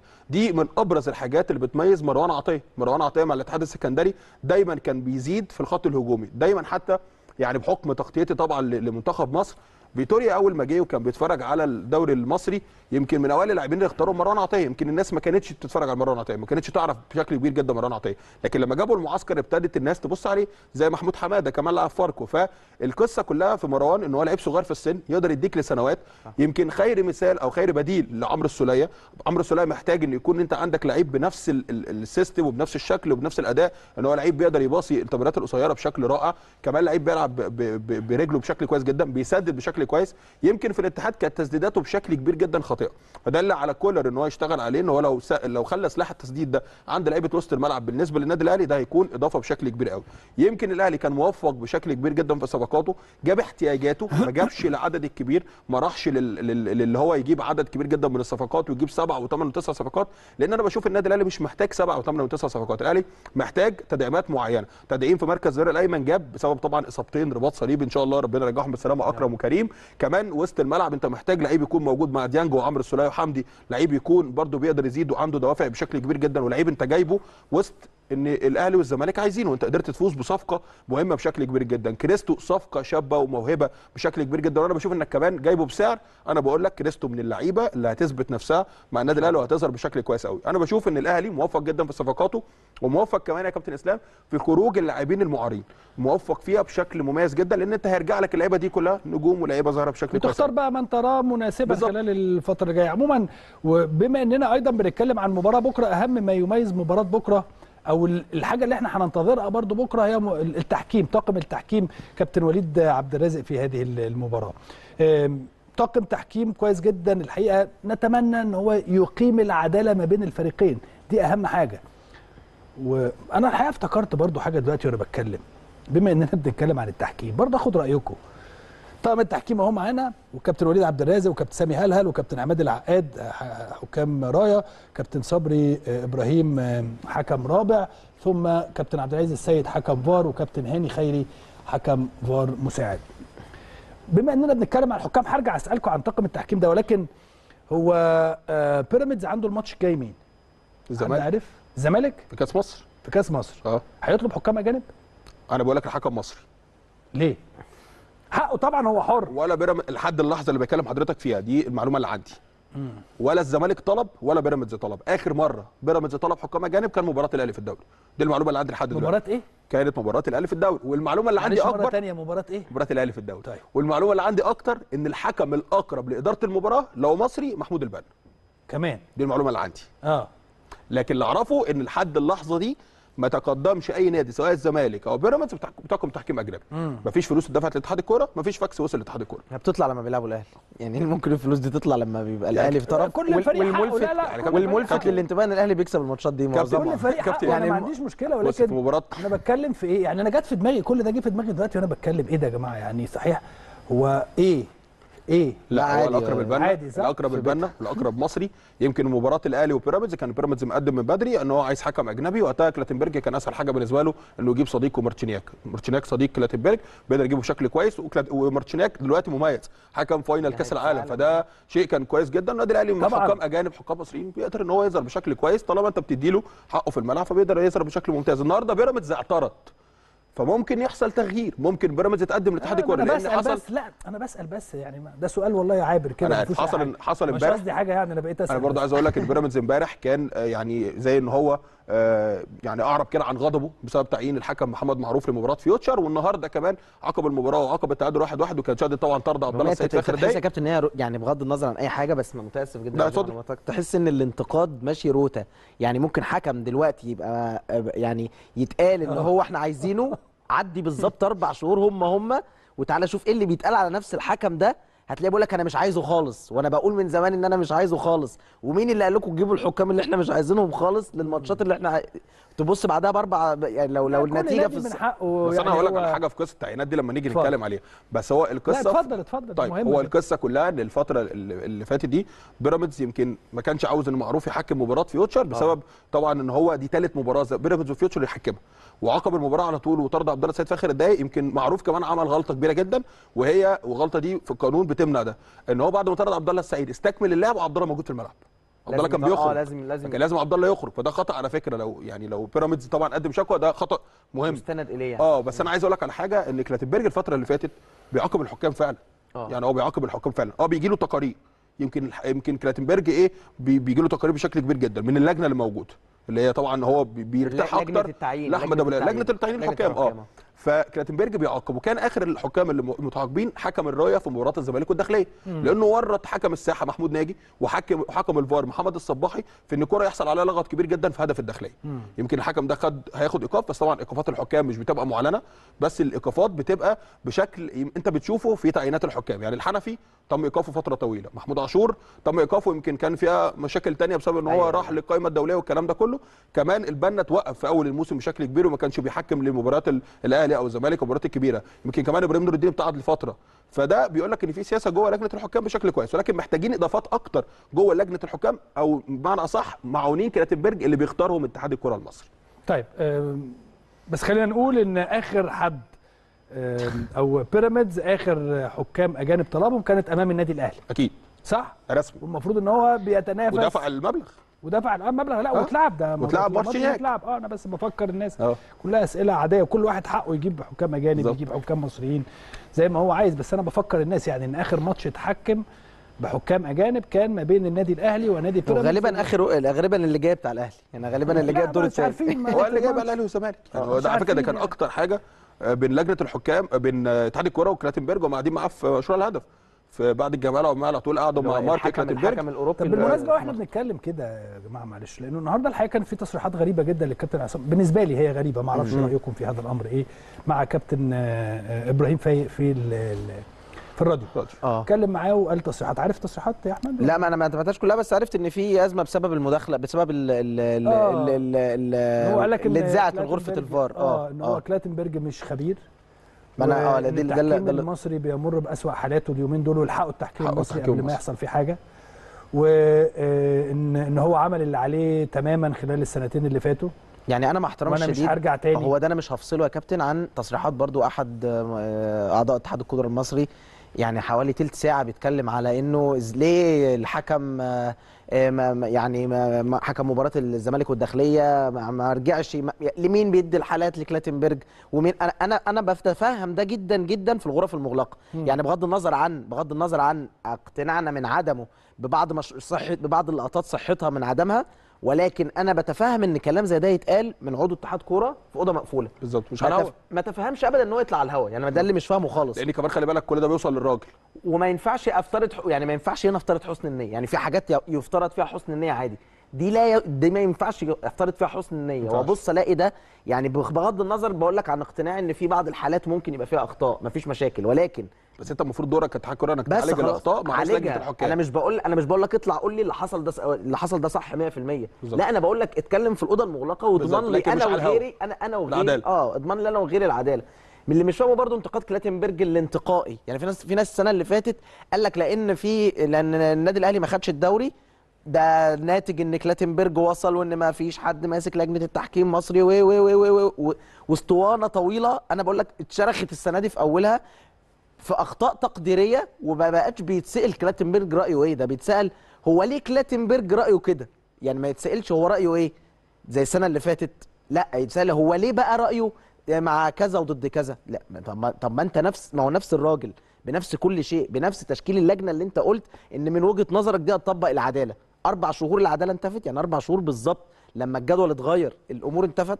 فدي الحاجات اللي بتخلي الواحد يعني بغض النظر عن أي شيء بالنسبة لتصريحات كابتن عصام طب ما تصريحات كابتن عصام ديت برضو لو لو جيت بصيت لها كده يعني فرغتها من مضمونها هتبص تل- هتتساءل سؤال كبير جدا على العدالة التحكيمية آخر ثلاث سنين أو آخر سنتين ونص آخر سنتين آخر ثلاث سنين آخر خمس سنين في الوقت اللي كان؟ كابتن عصام في الوقت اللي كان كابتن عصام فيه مسؤول عن لجنة الحكام بشكل بشكل فردي يعتبر يعني بشكل أو هو كان الرجل الأول في لجنة الحكام. الأوحد. الأوحد في الوقت ده. طيب لما أنت تقول كده وتطلع تتكلم بعد ماتش انتقاء أنت أنت ما اتكلمتش مثلا بعد ماتش الأهلي وفاركو بن- بنفس الصيغة بتاعت السنة اللي فاتت. أنت قررت إنك تتكلم دلوقتي بغض النظر عم بقول لك عن اقتناع من عدمه بصحة الحالات أو غلط الحالات. أنت سبت كل الأخطاء وجيت بعد ماتش معين اتكلمت. أنا إزاي أفترض حسن النية؟ اشمعنى أحمد، الماتش ده؟ اشمعنى الماتش المشكلة ده؟ كمان لسه كان ممكن يطلع يتكلم النهارده بقى بعد آه، ال- آه. الاخطاء كابتن هو المشكلة يا كابتن كمان إن كابتن عصام السنة اللي فاتت والسنة اللي قبلها لو حضرتك أكيد فاكر كان كل مباراة أنا فاكر حتى كل وهو بيبرر وهو. بيبرر الخطأ أو بيتكلم عليه كان بيبرره بشكل خطأ كان بيبرره بشكل كمان يثير أزمة أو يثير مشكلة لأن كان في حاجات بتبقى واضحة جدا لكل الناس وكنا بنشوف الرأي بتاع الكابتن عصام مختلف. يمكن أنا السنة دي بشوف مع مارك كلاتنبرج بشوف الحكم ال- الم- ال- اللي هو الفار بيتكلم مع حكم الساحة بيتكلم معاه في إيه؟ يمكن شفناه في مباراة الزمالك والداخلية وهو بيقول له يا صباحي الكرة آه، أنا أرجع وأجي ولا ما أجيش؟ أنت شايفها إيه؟ ما ده حكم الفار هو اللي يقول لك القرار. مش شرط كل كره اوقف الملعب وأرجع. طيب كابتن عصام بيقول ال- الحقوا يعني أنا أقف عند التصريح ده الحقوا التحكيم المصري انهار. هو التحكيم المصري انهار من إن هو ما يبقاش في حكم موجود في كأس العالم من هو ما يبقاش في حكام جاهزين وحكام جدد يتم إضافتهم في الكرة المصرية. ما يبقاش نفس الحكام موجودين وآخر جيل طلع كان في 2013 بقيادة البنا وإبراهيم نور الدين. ما يبقاش إن في حكام وحكام بتاخد تعيينات وحكام ما بتاخدش تعيينات وفي مشاكل في التعيينات يا كابتن إسلام كبيرة جدا جدا جوه اللجنة. في خلال كمان وجود الكابتن عصام ما شفناش وجوه جديدة جوه لجنة الحكام اللي هي بتدير بقى لا بتدير الحكام. وصحفيا صحفيا كمية الأخبار المغلوطة اللي طلعت الثلاث أربع أيام اللي فاتوا بيقول لك إن اللجنة يعني إن إن ال- الصحفيين القليلين مع احترامي في اللفظ يعني منتهكين اللجنة عادي تقول إيقاف الحكم فلان الفلاني بشكل رسمي هو ما توقفش. طب فين أنت من ده؟ طب انت فين من ان الراجل دوت بس أنا أقول لك أقول لك على حاجة أقول لك. على حاجة. هي القصة اللي فاتت في, ال... في بالنسبة للجنة الحكام كان فيها أزمات. خلينا معترفين وكابتن فاروق استقال محمد فاروق ثم رجع تاني عشان يرجع نائب. وأبو العيلة مش عايز يبقى موجود في القسم الإداري وعاوز يبقى موجود تاني في التعيينات. ففي أزمة ودي دور اتحاد الكورة مش دور مارك كلاتنبرج. لأن كلاتنبرج في الأول وفي الآخر ده رأس منظومة وده العمل الاحترافي. إن أنا كرئيس لجنة حكام المفروض عندي لجنة دي منتقيه من قبل آه، اتحاد الكورة المصري واختارها. ولكن الكابتن عصام التصريحات كلها اللي قالها النهارده هو ما كانش بيعمل بيها وهو موجود رئيس لجنة حكام لأن هو النهارده ما قالش حلول للتحكيم هو اتكلم في قصة إيه؟ اتكلم في قصة التحكيم المصري منهار التحكيم المصري ما فيهوش جديد لا التحكيم المصري ما بيدروش خبير. الكابتن عصام. طب أنا أسألك سؤال الحلول. اللي أنت ترجع الكابتن حسام رئيسا رئيسا للجنة أنا أسأل. سؤال. هو ده الحل. هل هل انت هو ده الحل. لا هو ده اعتقد هو ده الحل. لا أختلف. يا عم والله. أختلف. هو قصده كده. هو هو؟ قصده لا هو قصده هو في كده. حد بيختلف زي ما أنا بختلف. لا بس أنا بقول لك هو كابتن عصام قصده هو شايف كده. لا يعني أنا لما تسمع التصريحات دي هتقول إيه؟ غريبة جدا يا كابتن. يعني هجوم برضه غير مبرر بصراحة. هو عايزنا. نطلع هو عايزنا إحنا نطلع نقول له كده. طب يا كابتن عصام آه وبعدين في الآخر يقول لك أنا مش راجع. لا هو أنت كل التصريحات دي بتقول إنك أنت نعمل عاوز ترجع؟ نداء للكابتن عصام عبد الفتاح عشان ترجع رئيسا للجنة الحكام. أقول لك حاجة يا كابتن برضه. هو دايما بيطلع يقول أنا استقلت من لجنة الحكام. هو ما استقلش من لجنة الحكام هو كان قدم استقالته لجنة الحكام. ولكن استقاله اللي هو إيه أنت جايب مارك كلاتنبرج فأنت استقلتي اللي هو أنت كاتحاد كورة بتكرر ولكن اتحاد الكورة اللي قرر ليه؟ بسبب التصريحات اللي خرج قالها لما برضه قرر التصريحات دي في شهر 8 اللي فات أول ما بس ما اتسمع إن مارك كلاتنبرج جاي وقال لك ده مش خبير تحكيمي ده أنا راجل في دلوقتي هو الفيفا. النهارده قال كده كمان. أنا آه قال لك أنا محاضر. في الفيفا هو و- حكم نهائي Champions League قبل كده. حاكم مرتين آه، أعتقد مرتين. مرتين ريال مدريد أتلتيكو مرتين مدريد، الريال ريال والريال والريال وأتلتيكو. آه. قال لك أنا راجل وبس أقول لك على حاجة هو كلاتنبرج عاوز يحط سياسة معينة لاتحاد الكورة. اتحاد الكوره يمكن الفترة اللي فاتت أو كام يوم؟ عشان عشان ما, ما راحش كاس عالم لا- لا، عشان ما راحش كاس عالم يعني هو طب هو كابتن عصام لما راح كاس العالم 2006 حكم مباراة final كاس العالم؟ لا حكم مباراة. بس مش فاينل كاس آه، العالم. آه، اليابان. فاللي اقصده إيه؟ اللي اقصده إيه؟ اللي اقصده إن إحنا المفترض إن إحنا الفترة الحالية ندعم التحكيم. التحكيم محتاج دعم. ومش محتاج دعم بس من الإعلام. هو محتاج دعم من اتحاد الكرة الأول. لما أنت قاعد مع الراجل الفترة اللي فاتت أو اليومين اللي فاتوا أنا متفاهم جدا إنك تتكلم مع السفريات وأنا بشوف إن ده كتير. ولكن أنت دورك كاتحاد الكرة إن أنت اللي تقول للراجل دي النظم بتاعتي ودي ده النظام بتاعي وأنت لازم تمشي عليها. تاني حاجة أنت اتكلمت معاه في التعيينات من جديد وبتتحايل. طب معلش هنرجع فاروق تاني رئيس نائب رئيس اللجنه هو الراجل أصلا ما اتدخلش في كل الكلام ده وما اتدخلش في كل التفاصيل دي. ثانيا الراجل اتكلم في إيه بقى؟ الراجل اتكلم في قصة مهمة جدا. أنا ليه بتهاجم؟ يعني أنا ليه دايما في حالة هجوم؟ لا هو قالك شخص واحد اللي بيهاجمني. بالظبط بس بس هو كمان يا كابتن خلي بالك في نقطة هو عنده شعور من اللي حواليه إن هو غير مرغوب فيه والقصة دي مضايقاه والقصة دي خلي بالك برضو بيفكر فيها كتير وبيتكلم فيها مع حازم إمام تحديدا لأن هو المسؤول عن الملف بتاع كلاتنبرج والمنتخب الأول. ولكن هي القصة إن أعضاء مجلس إدارة اتحاد الكوره كانوا عاوزين يقعدوا مع كلاتنبرج يعني أنا لما تيجي تكلم حد فيهم يقول لك إحنا برضو حقنا نقعد معاه. هم مش عارفين يقعدوا معاه فعايزين يقعدوا معاه. وليه في إخطاء في الدوري؟ ليه في إخطاء حكام في الدوري؟ وبعدين بيتكلموا معاه في حكام بعينهم. يعني ليه الحكام دي آه، مش موجودة؟ في حكام عندهم حق لأن في حكام بره التعيينات تماما ويمكن مظلومين مش من مارك من اللجنة. ودي نقطة مهمة جدا هي ده موضوع. عايز له حلقة لوحده آه. لأن إحنا وقتنا بينتهي للأسف الشديد. لكن أهم حاجة إحنا طلعنا بيها من هذا الأمر إن آه، مباراة بيراميدز والأهلي حكام كانت أجانب. آخر مباراة لحكام أجانب. هل سيتم طلب حكام أجانب لمباراة البيراميدز والزمالك؟ الأيام القادمة سوف تجيب عن هذا الأمر. ممكن. يعني حقهم بس لحد اللحظة اللي بكلم أو حضرتك. فيها مفيش. الأيام القادمة ستجيب عن هذا الأمر. خلينا نطلع نشوف فيديو جراف سريع عن مشوار النادي الأهلي. أهلا وسهلا بحضراتكم مرة أخرى. أحمد المصري كيف يلعب المصري وك- وطريقة لعبه وتشكيله؟ يعني كابتن حسام آه، بيميل أكتر لل 4 3 3 بتدخلات شوية في في الستة اللي قدامانيين 3 نص وثلاثه والثلاثه المهاجمين. بس خلينا نقول إن في عناصر أساسية الكابتن حسام بيعتمد عليها. أنا أعتقد إن هو يعني محمد جد محمد جد في حراسة في حراسة المرمى آه، إيزي إيميكا في, في, في, في عنصر أساسي جدا في مركز رقم ستة. طبعا الياس الجلاصي ودغموم ومروان حمدي ك striker أعتقد يعني ده دي دي الأسامي الأساسية. جريندو. آه إيه إيه وجريندو طبعا بي- بيتع- بيتعامل معاه. أحيانا كجناح كلاسيكي كده في 4 4 2 واحيانا بيحطه على الطرف يلعب بيه كجناح. ساعات لما يحب الكابتن حسام يحب يهاجم بيلعبه back left. هو كابتن ساعات آه الفترة كابتن حسام كان بيعمل كده. الاربعه يعني أحيانا يحط لك الأربعة بتوع خط النص مسطحين جدا يا كابتن بحيث الاثنين اللي على اليمين والشمال يبقوا عاملين زي. الظهيرين يبقوا عاملين زي الظهيرين. والاثنين اللي وراهم واقفين. بالظبط بس محميين محميين, محميين تماما. تماما، وفي. اثنين في خط النص يعني هو مثلا دلوقتي لجأ لعمرو موسى إنه بيرجعه دلوقتي ورا في في الأربعة اللي لأن صحيح. عمرو موسى وفريد شوقي اللي كانوا أحيانا يعني في وقت كبير بيلعبوا ستة ولاعيبه خط سته ولكن ال- ال- الكابتن حسام بيعتمد إنه انطلاقات جريندو على اليمين والياس الجلاصي لما بيشد الكورة ودغموم وقدام مروان حمدي مروان حمدي عنصر في غاية الأهمية هي وهو- آه متميز الفترة آه مروان حمدي. بتاع الدوري المصري المصري. بتاع الدوري المصري ممتاز جدا يعني آه. لأنه لعيب أنا بقول لك ال striker ده مش موجود منه كتير في مصر صح لما بيبقى في أعلى مستوياته اللي هو بيعرف يعمل اللي هو بغض النظر عن بنيته القوية وكونه محطة فبيعرف يحط الكرة في رجله بيرقص ويجري بيها ال 10 15 متر صح. اللي- اللي افتقدناهم في قليل. مصر اللي قليل. افتقدناهم في مصر من بعد متعب وعمرو زكي طيب. إحنا افتقدنا اللعيب اللي, اللي اللي بالطريقة دي جيم بص يا كابتن المصري بكرة يمكن أنا مش مش هكتر على أحمد بس أكتر حاجتين ممكن كابتن حسام يلعب عليهم بكرة هو الهجمات المرتدة على جريندو وعلى دغموم مع طبعا التمريرات البينية من إلياس الجلاصي وكمان الكرات الثابتة لازم ال- ال- قدرت تقفل على إلياس الجلاصي بشكل جيد آه الموضوع يعني هتحس الموضوع. أسهل آه ممتاز. ولكن يا كابتن الكرات الثابتة كمان عند النادي المصري مهمه جدا وبيقدروا إن هم يستغلوها على مروان حمدي بشكل كويس وعلى إسلام أبو سليمة المدافع, المدافع، كمان اللي آه. بيلعب في خط الظهر يمكن أكتر حاجة ممكن بقى النادي الأهلي يشتغل عليها هو حتة ال- الباكين بتوع النادي المصري سواء السعداوي أو المزين مزين. بيقدروا إن هم يعني ما بيطلعوش بشكل كبير ولكن حتى دفاعيا ممكن الشحات وعبد القادر لو هم اللي بادئين أو حتى برونو سافيو أو قفشة يقدروا إن هم يشتغلوا عليهم بشكل كويس جدا مع الاثنين السردباكين أنت بتقول إن عمرو موسى يمكن لعيب وسط ملعب وراجع في خط ال- الدفاع وده اللي مخليه النادي المصري محتاج إن هو يجيب صفقات في خط الدفاع. فأنت تقدر إنك تلعب على خط الدفاع بالنادي المصري بشكل كويس جدا. كمان ايزي إيميكا لعيب كويس ولعيب قوي ولكن لوحده في وسط الملعب. كان في الأول بيبقى جنبيه فريد شوقي ولكن دلوقتي هو بيلعب لوحده قدامه لعيب شاب صغير اسمه شداد وكمان طبعا دغموم. ولكن لازم النادي الأهلي يكون مركز جدا جدا على جبهة دغموم لأنها جبهة خطيرة جدا. كمان جريندو بيزيد جنب مروان حمدي أو بيبقى رقم تسعة مع مروان. مروان بيقدر إن الفترة اللي فاتت إحنا شفناه متألق بشكل كبير جدا ويمكن هيكون كمان موجود في الفترة الجاية في معسكرات المنتخب لأنه لعيب بيقدر يلعب برجليه بشكل كويس لعيب بيقدر يلعب بدماغه بشكل كويس جدا لعيب كمان والكرة تح... يعني يعني بتتحول له أو بشكل كبير بيقدر يتصرف فيها المنتخب هو محتاج يكسره يعني آه. هو الحاجز بس اللي لك على حصل حاجة برضه هو, هو تم الدفع بيه بشكل خطأ خطأ. يعني أنت لما تلعب كأس العرب بأساسي بيه صحيح. فالموضوع صعب بس طيب. هو فعلا مهاجم مهاجم مهاجم جيد قوي جدا آه كيروش برضو عنده وجهة نظر آه. عموما خلينا نطلع نشوف فيديو جراف عن مشوار النادي المصري ونرجع نكمل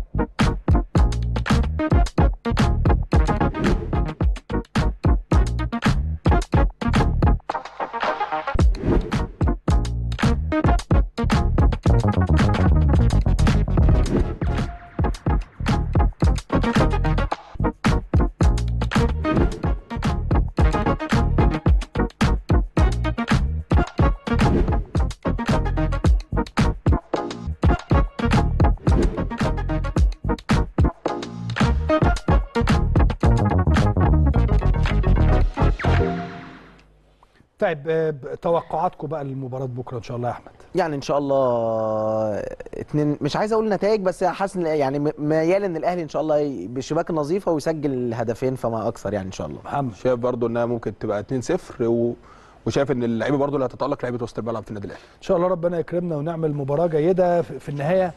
آه، لعيبة النادي الأهلي عندما تؤدي ما عليها أعتقد إن شاء الله إن الفوز يكون حليفنا طول ما يفضل دايما في ظهرنا جمهور النادي الأهلي ويفضل في ظهرنا آه، إدارة النادي الأهلي كالعادة في ظهر لاعيبتهم إن شاء الله ربنا هيكرمنا فيما هو قادم لأن المباريات اللي جاية صعبة جدا جدا جدا سواء المصري. بعد كده هنبتدي نفكر في سموحة والزمالك والبنك الأهلي. نتمنى يا رب كل التوفيق للنادي الأهلي. وما تنسوش بكرة إن شاء الله آه، قبل المباراة بساعتين الاستوديو التحليلي لقناة النادي الأهلي مع كابتن أيمن شوقي لنقل كل كواليس ما يحدث قبل بداية هذه المباراة على الهواء مباشرة مع حضراتكم على شاشة قناة النادي الأهلي.